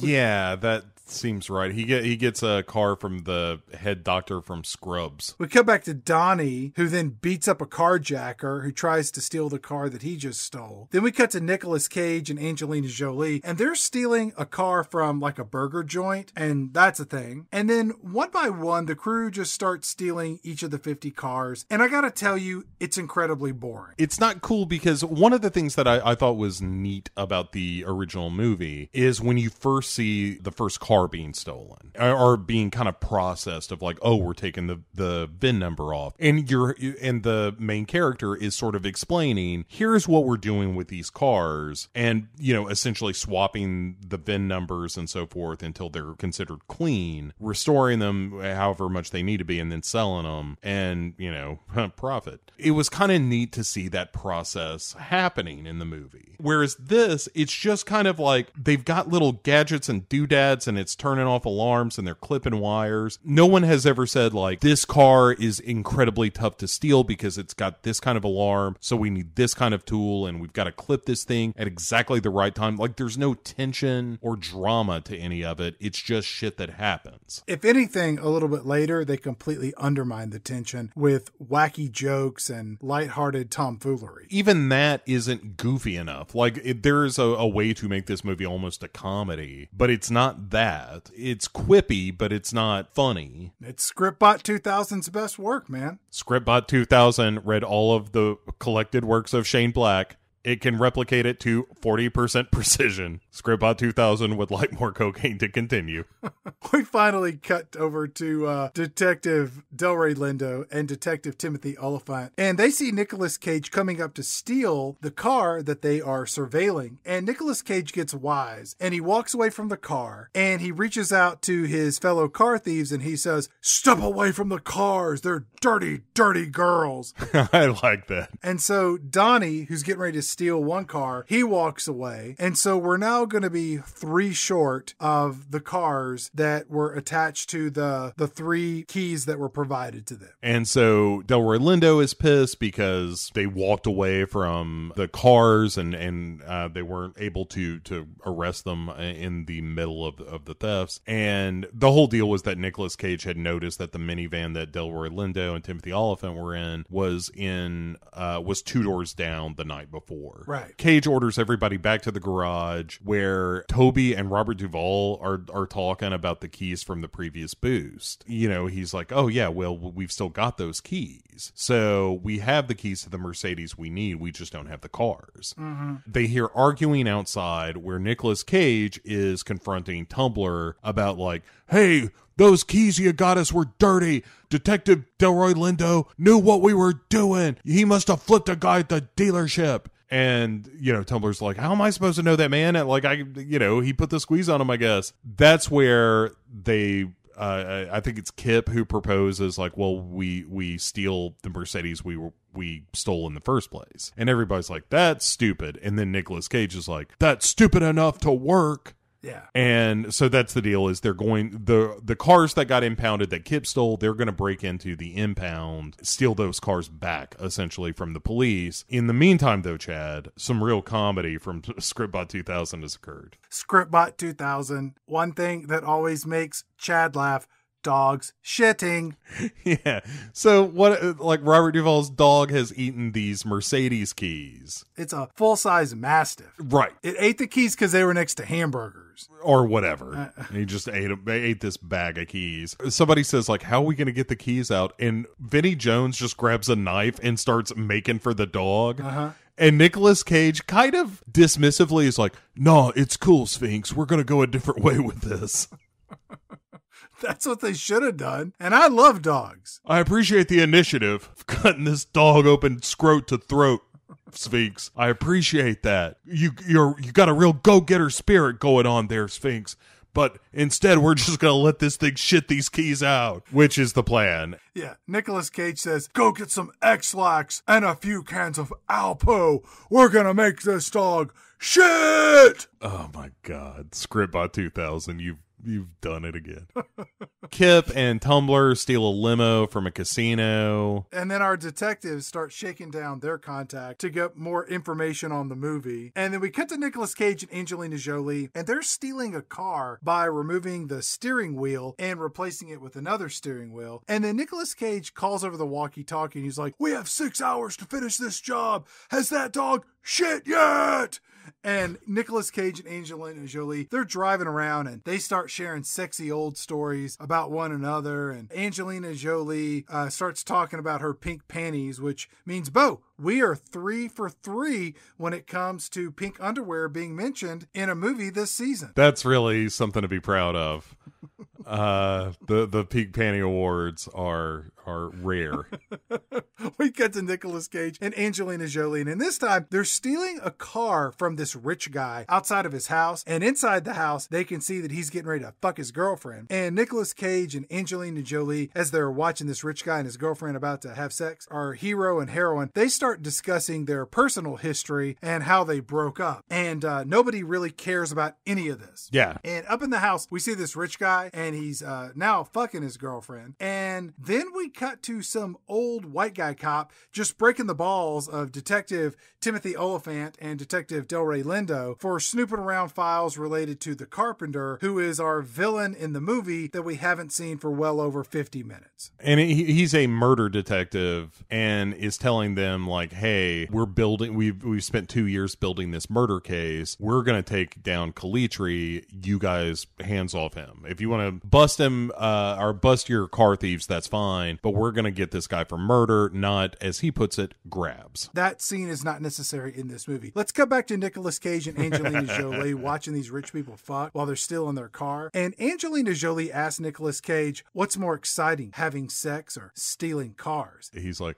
"What about having sex while boosting cars?" And she's like, "Oh well, I hadn't thought about that." Scriptbot 2000, always thinking outside of the box. If Scriptbot 2000 had an arm, it would pat itself on the back. If Scriptbot 2000 had another arm and a dick, it would sit on its hand and then masturbate 15 to 20 minutes later. Ha ha, ha ha, ha ha. I've got to get that on paper. That's gold. As they're making out, Nicolas Cage just starts reciting car parts to her. And he's like, "Oh, throttle linkage and shifter." They they're about to fuck. Then Angelina Jolie notices that the couple uh, that would have seen them steal the car, presumably, have gone to the bedroom. She leaves them all blue balled in the driver's seat, and she's like, "Let's go get this car." Right. And he goes, brakes, also brakes, real good brakes, because I had a raging hard on because of all her sexy car talk. And then she just left me in the cold. Not the sexy car talk where you ask questions to two Boston gentlemen, but real sexy car talk. where you say things like throttle bearings, gear shifter, and you got Angelina Jolie rubbing her puss over your pants. Don't drive like my brother. Don't drive like my brother. Oh, those guys are gems. I think they're dead. Uh, are they both dead? At least one of them's dead. Oh, that's terrible. When you're laughing at them on NPR on the weekends, you're laughing at a dead guy. You inconsiderate assholes. Well, but by that token, like, you know, should I stop laughing at Jackie Gleason or start laughing at Jackie Gleason? so, uh, by the way, Freb and Toby are out walking this fucking dog trying to get to shit. Just a real thing that happens in this movie.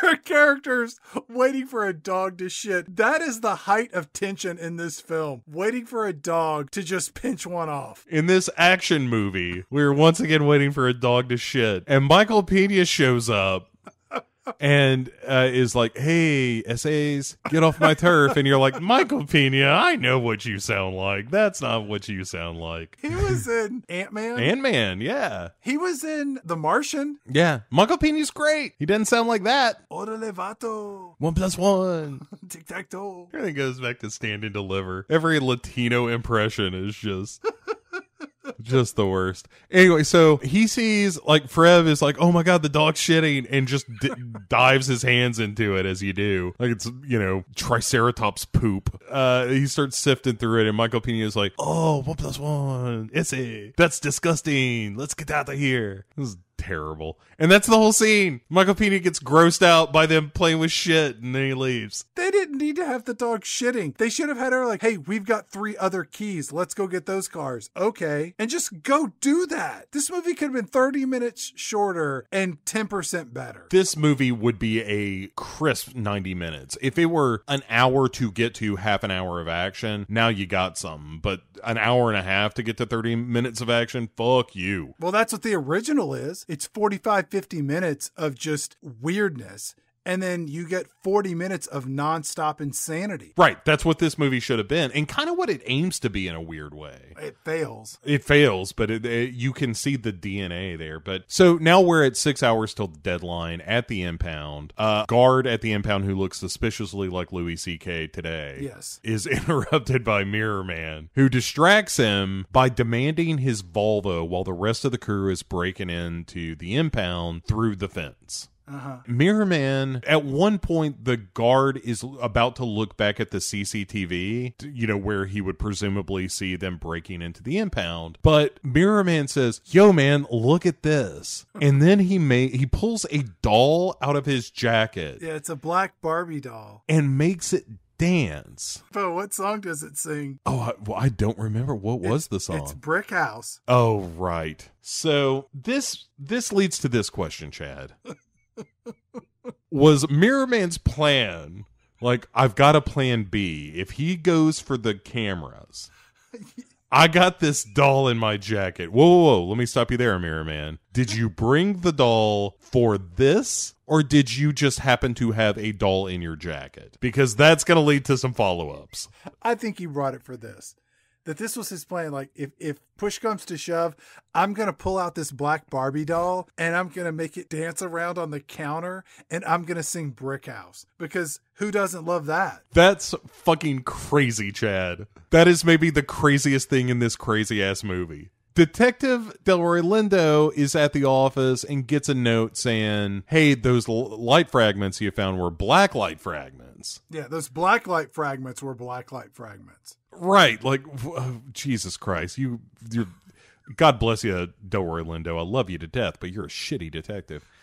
And He would make a hell of a Batman. yeah, he would. So Detective Delaware Lindo then tells Detective Timothy Olyphant, like, "Hey, you need to come with me." So they go to the original crime scene where the you know they they originally got the three Mercedes. He then proceeds to wax nostalgic about black lights for a minute, mm-hmm. telling the evolution of black lights through the seventies and shit. Right. And he's like, "Oh God, who is coming up here? Oh, oh wait, here, look, it's all those car license plate numbers." And what are all these speckled stains over here on the wall? Oh my God, was somebody pulling a stranger? That's my move. Don't don't let anyone tell you different. They say, well, we can't possibly track all these cars. Like if they're trying to steal 50 cars, we can't do that. And Delroy Lindo says, we don't have to. We're going to pick the rarest ones and we're going to stake those out. And he picks Eleanor Right. the GT Mustang. And he says, um, and when Timothy Olyphant is like, well, why that one? And he says, because Nicolas Cage is afraid of that one. He's going to save that one for last. So now we're at three hours until deadline, Chad. Kip and Toby and Tumbler are stealing another car and they they get in through like a, a fake garage door code. There's a pool party happening behind the house as they're in this garage. Yeah, a bunch of rich white people having a pool party. So while Kip and Tumbler are stealing the car, Toby is kind of looking out. And then this girl from the pool party walks in and is like, Hey, what are you doing in here? And then sees Kip and Tumbler. And then she's like, Oh my God, everyone, oh my God, they're stealing your car. She says, call security, Right. not call the police. Call security. Neighborhood security in California, I'm sure. Oh my God. Could you imagine? Right.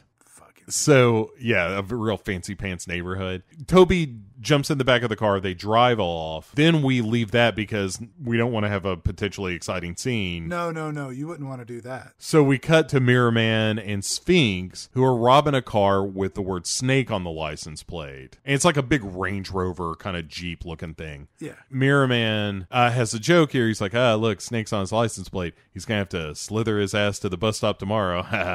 Scriptbot 2000. That's a zinger. Then we see some cops pulling up to a guard shack at, at this lot because they're like, hey, we need to check this lot. We were given this plate number. We need to make sure the car is okay. And Vinnie and Mirror Man are descending this parking lot as the police are ascending this kind of spiral parking structure. And in the meantime, a snake is actually in the car. Wait, this the car that had snake on the license plate has a snake inside of it? That's right. And so Mirror Man is like, "What is this, Reggie? I hate snakes. I hate them." And uh, Vinnie uh, Jones or uh, Sphinx, of course, doesn't say anything, but runs kind of headfirst into the cops who are coming up this ramp, Right. And uses the power of the Range Rover to basically just drive them off a ramp and wreck their car. None of this matters. It doesn't. It's just stuff that happens in the movie, and it's it's it's a weird movie to kind of synopsize because it's like here's the thing that happens. It doesn't really add up to anything. It doesn't connect to anything. It's just a thing. Now we're at two hours until the deadline. Uh oh. And we're at the pier where we see Angelina Jolie dropping off uh, a car. Atley is there, and he says, "Hey, we're at 48 now. We only need two more cars." By the way, Sphinx and Mirror Man are on their way to the garage. That's 49, but we haven't heard from Tumbler and Kip. Well, let me interject a little patented Pick Six movies fan fiction. Please. Here's how you make this shit better. You go in, you set it up, and you know, they stake out the cars, whatever. But when they start stealing cars, you just show a montage of them stealing each car one by one. Do you know what I mean? Like you're stealing it from the rich debutante. You're stealing this car from a dealer. You're stealing this one here. And each of the moments where you see a car getting taken, it's just kind of like reading a Bazooka Joe joke. It's beginning, middle, end. It happens very quickly. And you keep a running tally of them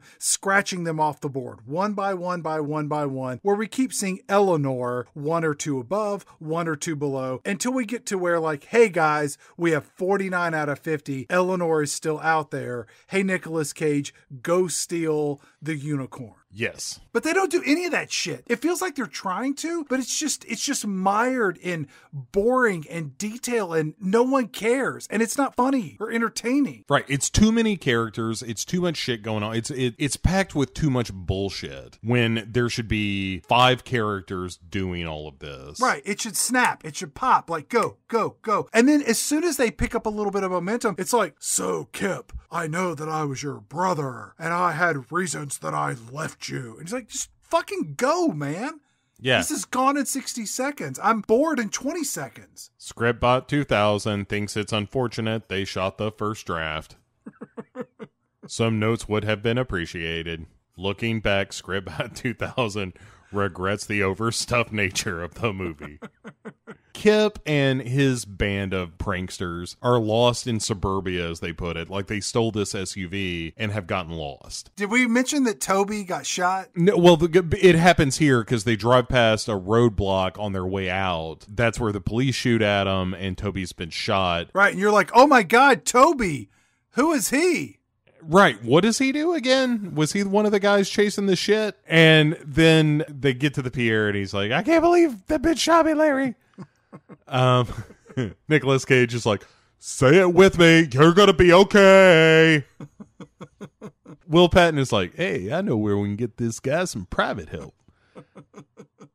And so they take him to a private, like, mob doctor, who is, by the way, Scott Rosenberg, the writer of Gone in 60 Seconds, the real Scriptbot 2000, is the doctor there. And Kip goes with Toby and Atley. So he's kind of out of out of the loop. Atley tells Nicolas Cage, hey, if, you know, if something goes wrong with this last car, I'll take care of him. I'll get him out of town. So, but we are at the place that you suggested in your fan fiction where only Eleanor remains. We should have gotten here at about 75 minutes into the movie. Yes. Instead of 94. Right. Because again, we we show Eleanor on the board and then we cut to the detectives who are meeting in the fucking morning and it's like 1 hour till the deadline. Timothy Olyphant is like, "Hey, all the cars got got. The only one left is the 67 Mustang. The only one we can find on record is one in Long Beach. So, we need to head out to Long Beach." So, Angelina Jolie drops Nicolas Cage off at the parking lot where the Eleanor is, is held and he very easily breaks into the car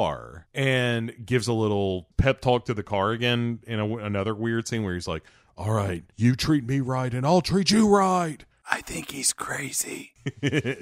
so he gets the car started and is pulling out of the parking lot when he looks to his right and there's detectives Delroy Lindo and Timothy Olyphant who are pulling up to the garage. So he spins out in the middle of the road and the car chase is on. Did you find it unsettling to see a car chase in this movie? Because the absence of them in the film so far has been a real notable element in the movie. And when it shows up, it's kind of off putting. It's almost inappropriate. The same way if, I don't know, they started doing a song and dance number, or maybe if a animated anthropomorphic cool cat character showed up to be part of the gang. You're like, why are we racing cars in this car racing movies all of a sudden? Yeah, it, it's really it's it's strange. Again, there's not much action in this action movie, and because I watched the original Gone in 60 Seconds before I watched this, um, it was strange because I was like, oh, I and I I just didn't remember the end of this movie because a week from now I will not remember having watched it. It is incredibly forgettable, but I remember thinking like, oh, this is going to be where, granted, it took forever to get here, but the movie's going to kick in a gear, and the rest of the movie is going to be one long action scene, much like the original was, which is not the case at all. No. We have this car chase, which has some good stuff in it, and I don't know. I mean, maybe the thing to do with it is just to say what we liked or didn't like about this car chase, because it's just him being chased by a bunch of cops and a helicopter. This is the final, and as we've noted, only real car chase in the entire movie that should be all about car chases. And there's a lot of zoom zoom and honk and screech screech.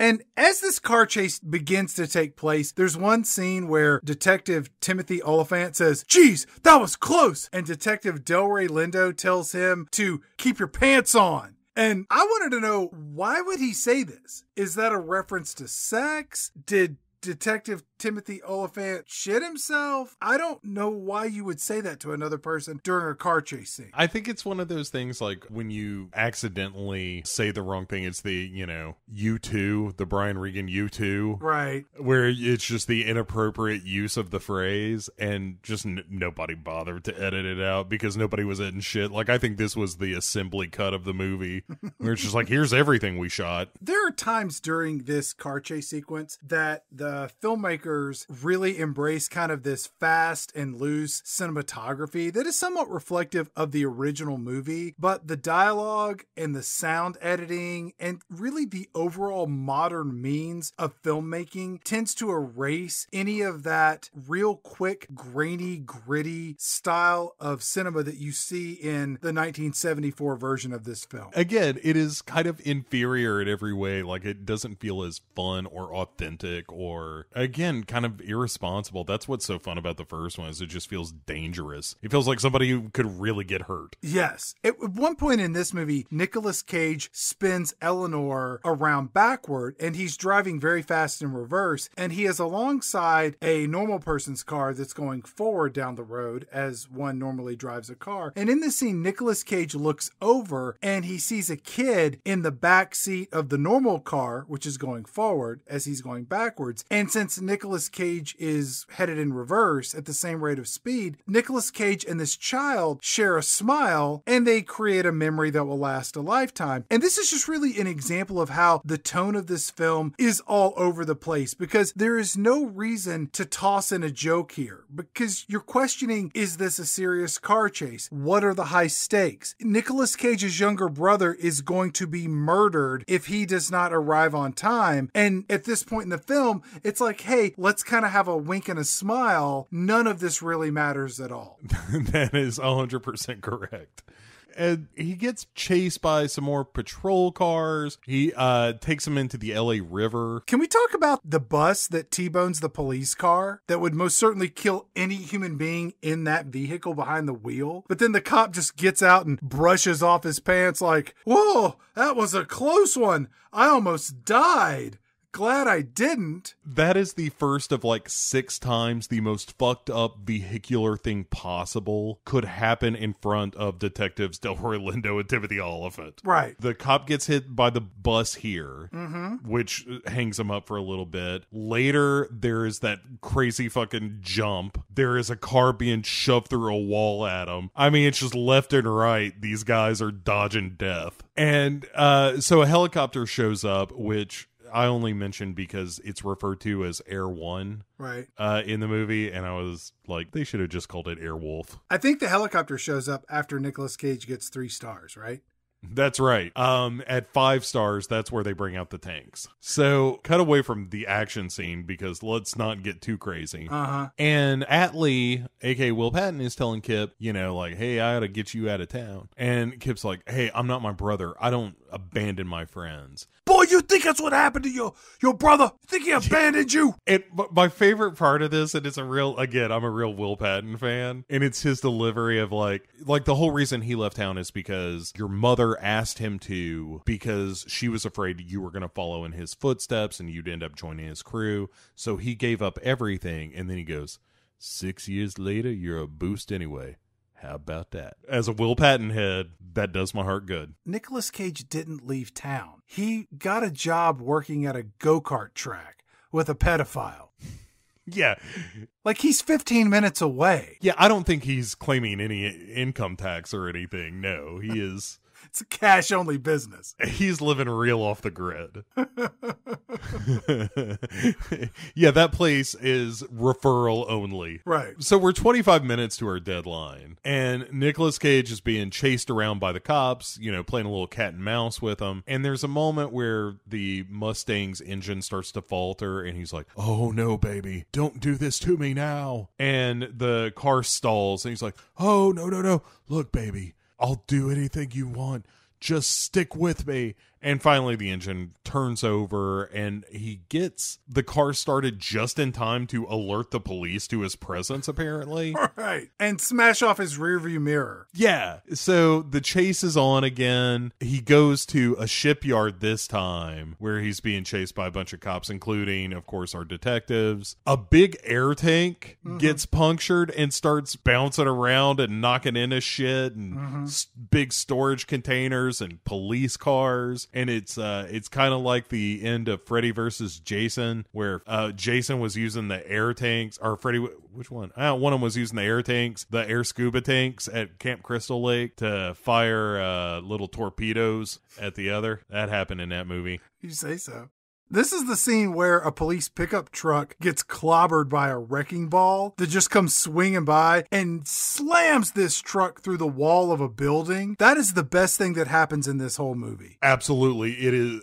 Even my note is like that was pretty sweet, which is the 14 year old in me being like that was pretty sweet. But then the movie just grinds to a halt while Detective Timothy Olyphant gets out of the car to, you know, kind of lighten up the mood. And he runs over to this driver who is miraculously not dead. And he says, You okay, buddy? Are you sure? Because, man, you just went through a wall. Hey man, I don't know if you noticed, but you got hit by a big ass wrecking ball, man. We're just having fun here, right? None of this really matters. No one's going to die. There's no real danger. No, everybody's fine. Toby's fine. Everybody's fine. The movie gives us a time check here. We got four minutes to deliver this final car. And Nicolas Cage makes his way over to the Vincent Thomas Bridge, where, for gosh done done, Bo, there's an accident blocking his path. Yeah, so he he hits reverse, like he's gonna get off the bridge, find a way around, I suppose. Then it, the cops are hot on his trail. They kind of stop behind him, block the road, get out with their guns drawn. Right. So he is between Scylla and Charybdis, as they say, Chad, and he decides, I'm going to go for it, and slams on the pedal and is gone in 60 seconds, Chad. You know, he ends up uh, hitting the back of a trailer like that is, you know, they're going to load one of these wrecked cars onto. And he just magically sails for hundreds of feet over this entire multi car accident and uh, emergency vehicles. And It looks like shit. This looks like an automotive version of Free Willy. it is embarrassingly fake. Like the whole movie really shows real cars throughout all of the chase scenes. This finale is thoroughly CGI, but it's the year 2000 CGI. It looks awful. yeah, it's way more exciting to see the guys who stole Cameron's dad's car in Ferris Bueller, which is the second time that movie's been referenced tonight. Back at the garage, The crew's all nervous. Where's Nicolas Cage? Angelina Jolie is actually crying. I think she's sad because she's not going to get paid for her time stealing these cars. Or being in this movie I once guess. they cut the rest of her part out. the phone rings and it's the carpenter and he's calling up to Atley, our crew elder, and he says, You're one car short, boyo. Bring the kid and we're gonna settle up. Remember me? I'm in this movie too. then Will Patton's like, funniest thing, that kid gave me the slip. He just ran off. Saw him in the distance, just like an old cowpoke riding over the horizon. And then the, the carpenter says, Then get me Nicolas Cage. I'll kill one of them. I don't care. I don't know why he has a Scottish accent. One rain's as good as another. It never rains, but it pours. He says that. Uh huh. He sure does. The Scriptbot 2000 wrote that. It is a weather analogy. It'll sound good because he'll be British. No one had the decency, nay the moral fortitude to, to say this doesn't make any sense. It's just embarrassing for you and me and the audience to hear those words. So Nicolas Cage, un- unwittingly, he doesn't know anything about this deal. Will Patton tells Skip, like, "Well, it looks like your brother's gonna take your place in the guillotine." He says. Nicolas Cage, sure enough, goes straight to Calitri's junkyard castle. Slash wood shop slash wood shop. Right, it looks like the kind of place like Muppet monsters would live. And Calitri like meets him outside, and he's like, "Oh, this car, it's seen better days, Sonny." Again, I don't know why this is turned Just keep, just go with it. And Nicolas Cage is like, hey, you know, just it's a fixer upper. Look, man, I did it with 12 minutes over time, but what are you gonna do? Traffic, am I right? And he's like, I asked for 50 cars, not 49 and a half, you wee bastard. And Nicolas Cage is like wanders around the Eleanor and is like, all right, all right, let's say this is what, 60, 70, eighty thousand dollars. So you subtract that from two hundred thousand dollars, right? That's a hundred thousand twenty dollars. And Calitri is like, "You got a deal, laddie." And he's like, "Great, right? That was easy. So we're cool." And he's like, "Cool as a cucumber, laddie." He's like, "Why are you saying it all menacing like that?" Don't worry your wee head about it. Everything's fine. We're finished. Again, you're what you're saying sounds great, but the way you're saying is kind of throwing me for a loop.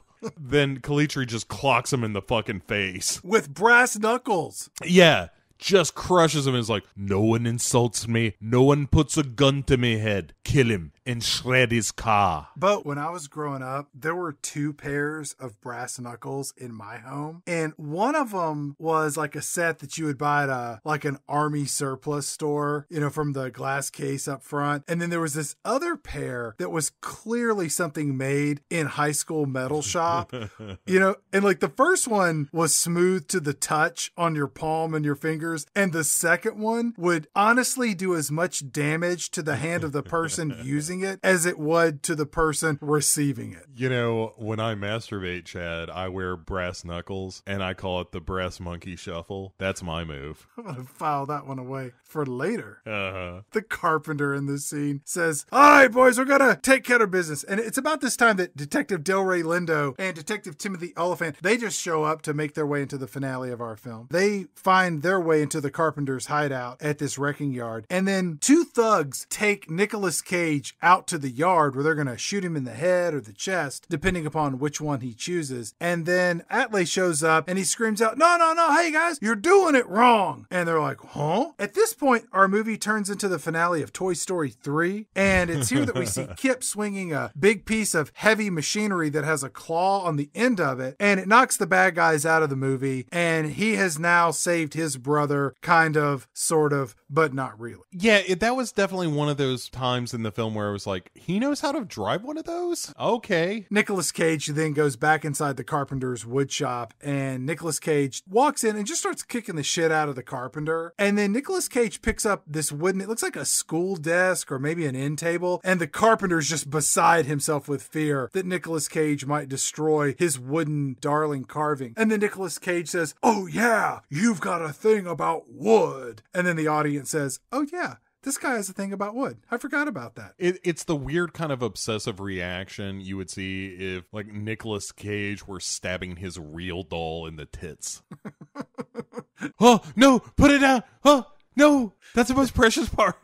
Nicolas Cage just destroys this wooden desk thing. And then the carpenter grabs a gun and starts shooting at Nicolas Cage. And so we get a little cat and mouse through the steam tunnels slash catwalks of this building. And about this time, Detective Delroy Lindo and Detective Timothy Olyphant, they show up to sneak around the portlet set of the finale of this movie. And at one point, Nicolas Cage just falls through the metal flooring of the catwalks for unnecessary suspense. The carpenter ends up face to face with Delroy Lindo. Finally, we get a mono e mono face off between two characters in our movie that have never met each other and have no history and really have no conflict. And really, it doesn't matter at all that they've run into one another. It's really just an excuse for Scriptbot 2000 to have Calitri give this big Baroque speech about, like, oh, the day of your funeral, they'll give a 21 gun salute and it'll be the happiest day of your life. And he's about to shoot him in the fucking face. And then Nicolas Cage just high kibas out of nowhere mm-hmm. and delivers this like swinging kick that knocks Calitri, our carpenter, over a railing and into. He does his best Hans Gruber impression. He diehards Yeah. falling off of this railing, shooting his gun as he as, as he does so. But what he does is he kind of crashes through the ceiling of his office and lands on the coffin that he made. Because he landed in the coffin. It's not plagiarism. Instead, it is an homage. Ugh. So it's just so bad, man. And the truly dumbest part of this movie comes next, where Nicolas Cage and Delroy Lindo are now, you know, mono e mono yet again. Delroy Lindo is just mono e Lindo with everybody. And Delroy Lindo's gun is between them. They both look at it. Delroy Lindo slowly leans down, grabs it, and says, What we got here is a real moral dilemma because you just saved my life here a minute ago. And I also understand why you're doing what you're doing, which is to save your brother. I understand that. But you have caused quite a mess. Uh, Nicolas Cage is like, whatever you decide to do, detective, I'm cool with it. Delroy Lindo is just like, all right, you crazy kid, get out of here before I change my mind. And you're like, what? Yeah, he's a terrible detective. right. He is going to be brought up on charges. Timothy Olyphant is going to see Nicolas Cage walk past him and be like, no, no, your boss said it was cool. and there's going to be hearings and inquiries and long meetings with his superiors. Like, he is never going to be promoted. He is going, if he's lucky, he'll be a cop six months later. Nicolas Cage, as he leaves, he's like, "Hey, check out a cargo ship at Pier 19. You won't be in the movie again, and it won't matter." That happens a lot in this film. Over and over again, man. You just leave a scene wondering what was the point of that, and then you learn there wasn't one. I'll bet that snake was in the cargo container. It's dead now, or either that, or it ate some poor dock worker. It is now got a taste for human flesh and is large.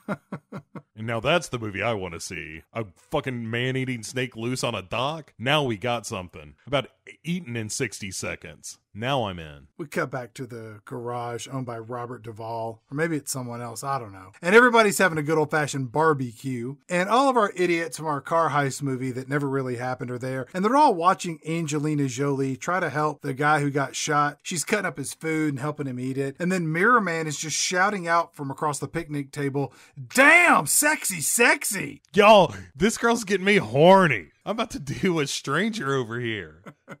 And here, because nobody asked for this, Sphinx, the character who has said not one word in this entire movie, uh, as noted earlier, he does a real Silent Bob routine where he spouts off a bunch of words of wisdom during the final few frames of this film. And it's a real, if we shadows have offended, think but this, and all is mended.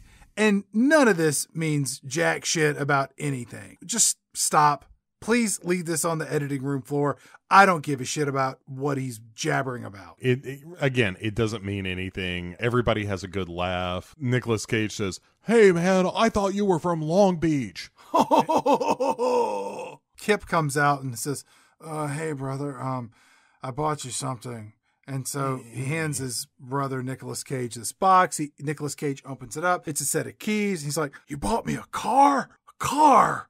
How did you know?" And so they go inside, and it turns out that Kip has purchased his brother a busted up version of Eleanor. And Robert Duvall's there, and he's like, Oh, we can get this fixed up. It's going to be great. Everyone applauds, except for the audience who's looking around to make sure they haven't left anything on the floor as they prepare to leave the theater. And Nicolas Cage gets inside the car to take it for a test drive, which is a piece of junk. As he's leaving the garage, Angelina Jolie, remember she's in this movie, she jumps in the passenger seat and she gives a real hell yeah, she wants a ride. And the movie fades to black. But then we hear the car engine stall, and Nicolas Cage says, Oh, don't do this to me. And the movie ends on a real wah, wah, wah, wah. I mean, just thank God it's over, right? It just took forever to get to this fucking ending, man. This is not a good film. The biggest problem with this movie is that it's not wacky enough to be like entertaining in a silly way. Right. It's just tremendously dull. Like there's just not much happens in this movie. The one thing that should be exciting is stealing cars, and that's not exciting. And it doesn't happen very often. Yeah, and when you see it and even the montages are so wonky, it feels like they stutter where it's like, oh, here's a little bit of a montage where we're going to see him stealing all these cars, and no, we're going to take a break to go to the detectives, and then we cut over here to do this other thing, and then kind of back to the montage, and it just felt like this whole movie was just fits and starts and characters that you couldn't care about. Who gives a shit about Tumbler? Like, did did anybody at the end of this movie be like, you know, we just didn't spend much time with him. I, I wonder, did was he okay? Did he land in a good place? I mean, he was at the barbecue, but how's he feeling? You know, it's a better movie than this that is car themed, that has a lot of the same beats, but is just immeasurably more entertaining and suspenseful, is the Robert Zemeckis film Used Cars. Starring Kurt Russell. Yeah, you're right. That is, uh, I didn't realize how similar it was, but now that I think about it, yes. You got to steal, not steal, but you have to procure all of these cars by a time deadline, and it's just a better movie than this. Or hell, for that matter, uh, what stands head and shoulders above both of those is the original 1974 version, Gone in 60 Seconds, which is horribly irresponsible and immeasurably more entertaining. You know, it, it is an indie movie from the 70s, so, you know, take take that as you will. But like you said, it's immensely entertaining. It, it, it the last act of that movie again is kind of shocking at times at how like holy shit that really happened you know and it's refreshing It's like a porno where you replace all of the sex with car chase scenes. yeah but strangely i was aroused during both both forms That's not strange at all, Bo. Huh, that's good to hear But what do we have coming up on the next episode of Pick Six Movies? hey we're not done with scriptbot 2000 and jerry bruckheimer productions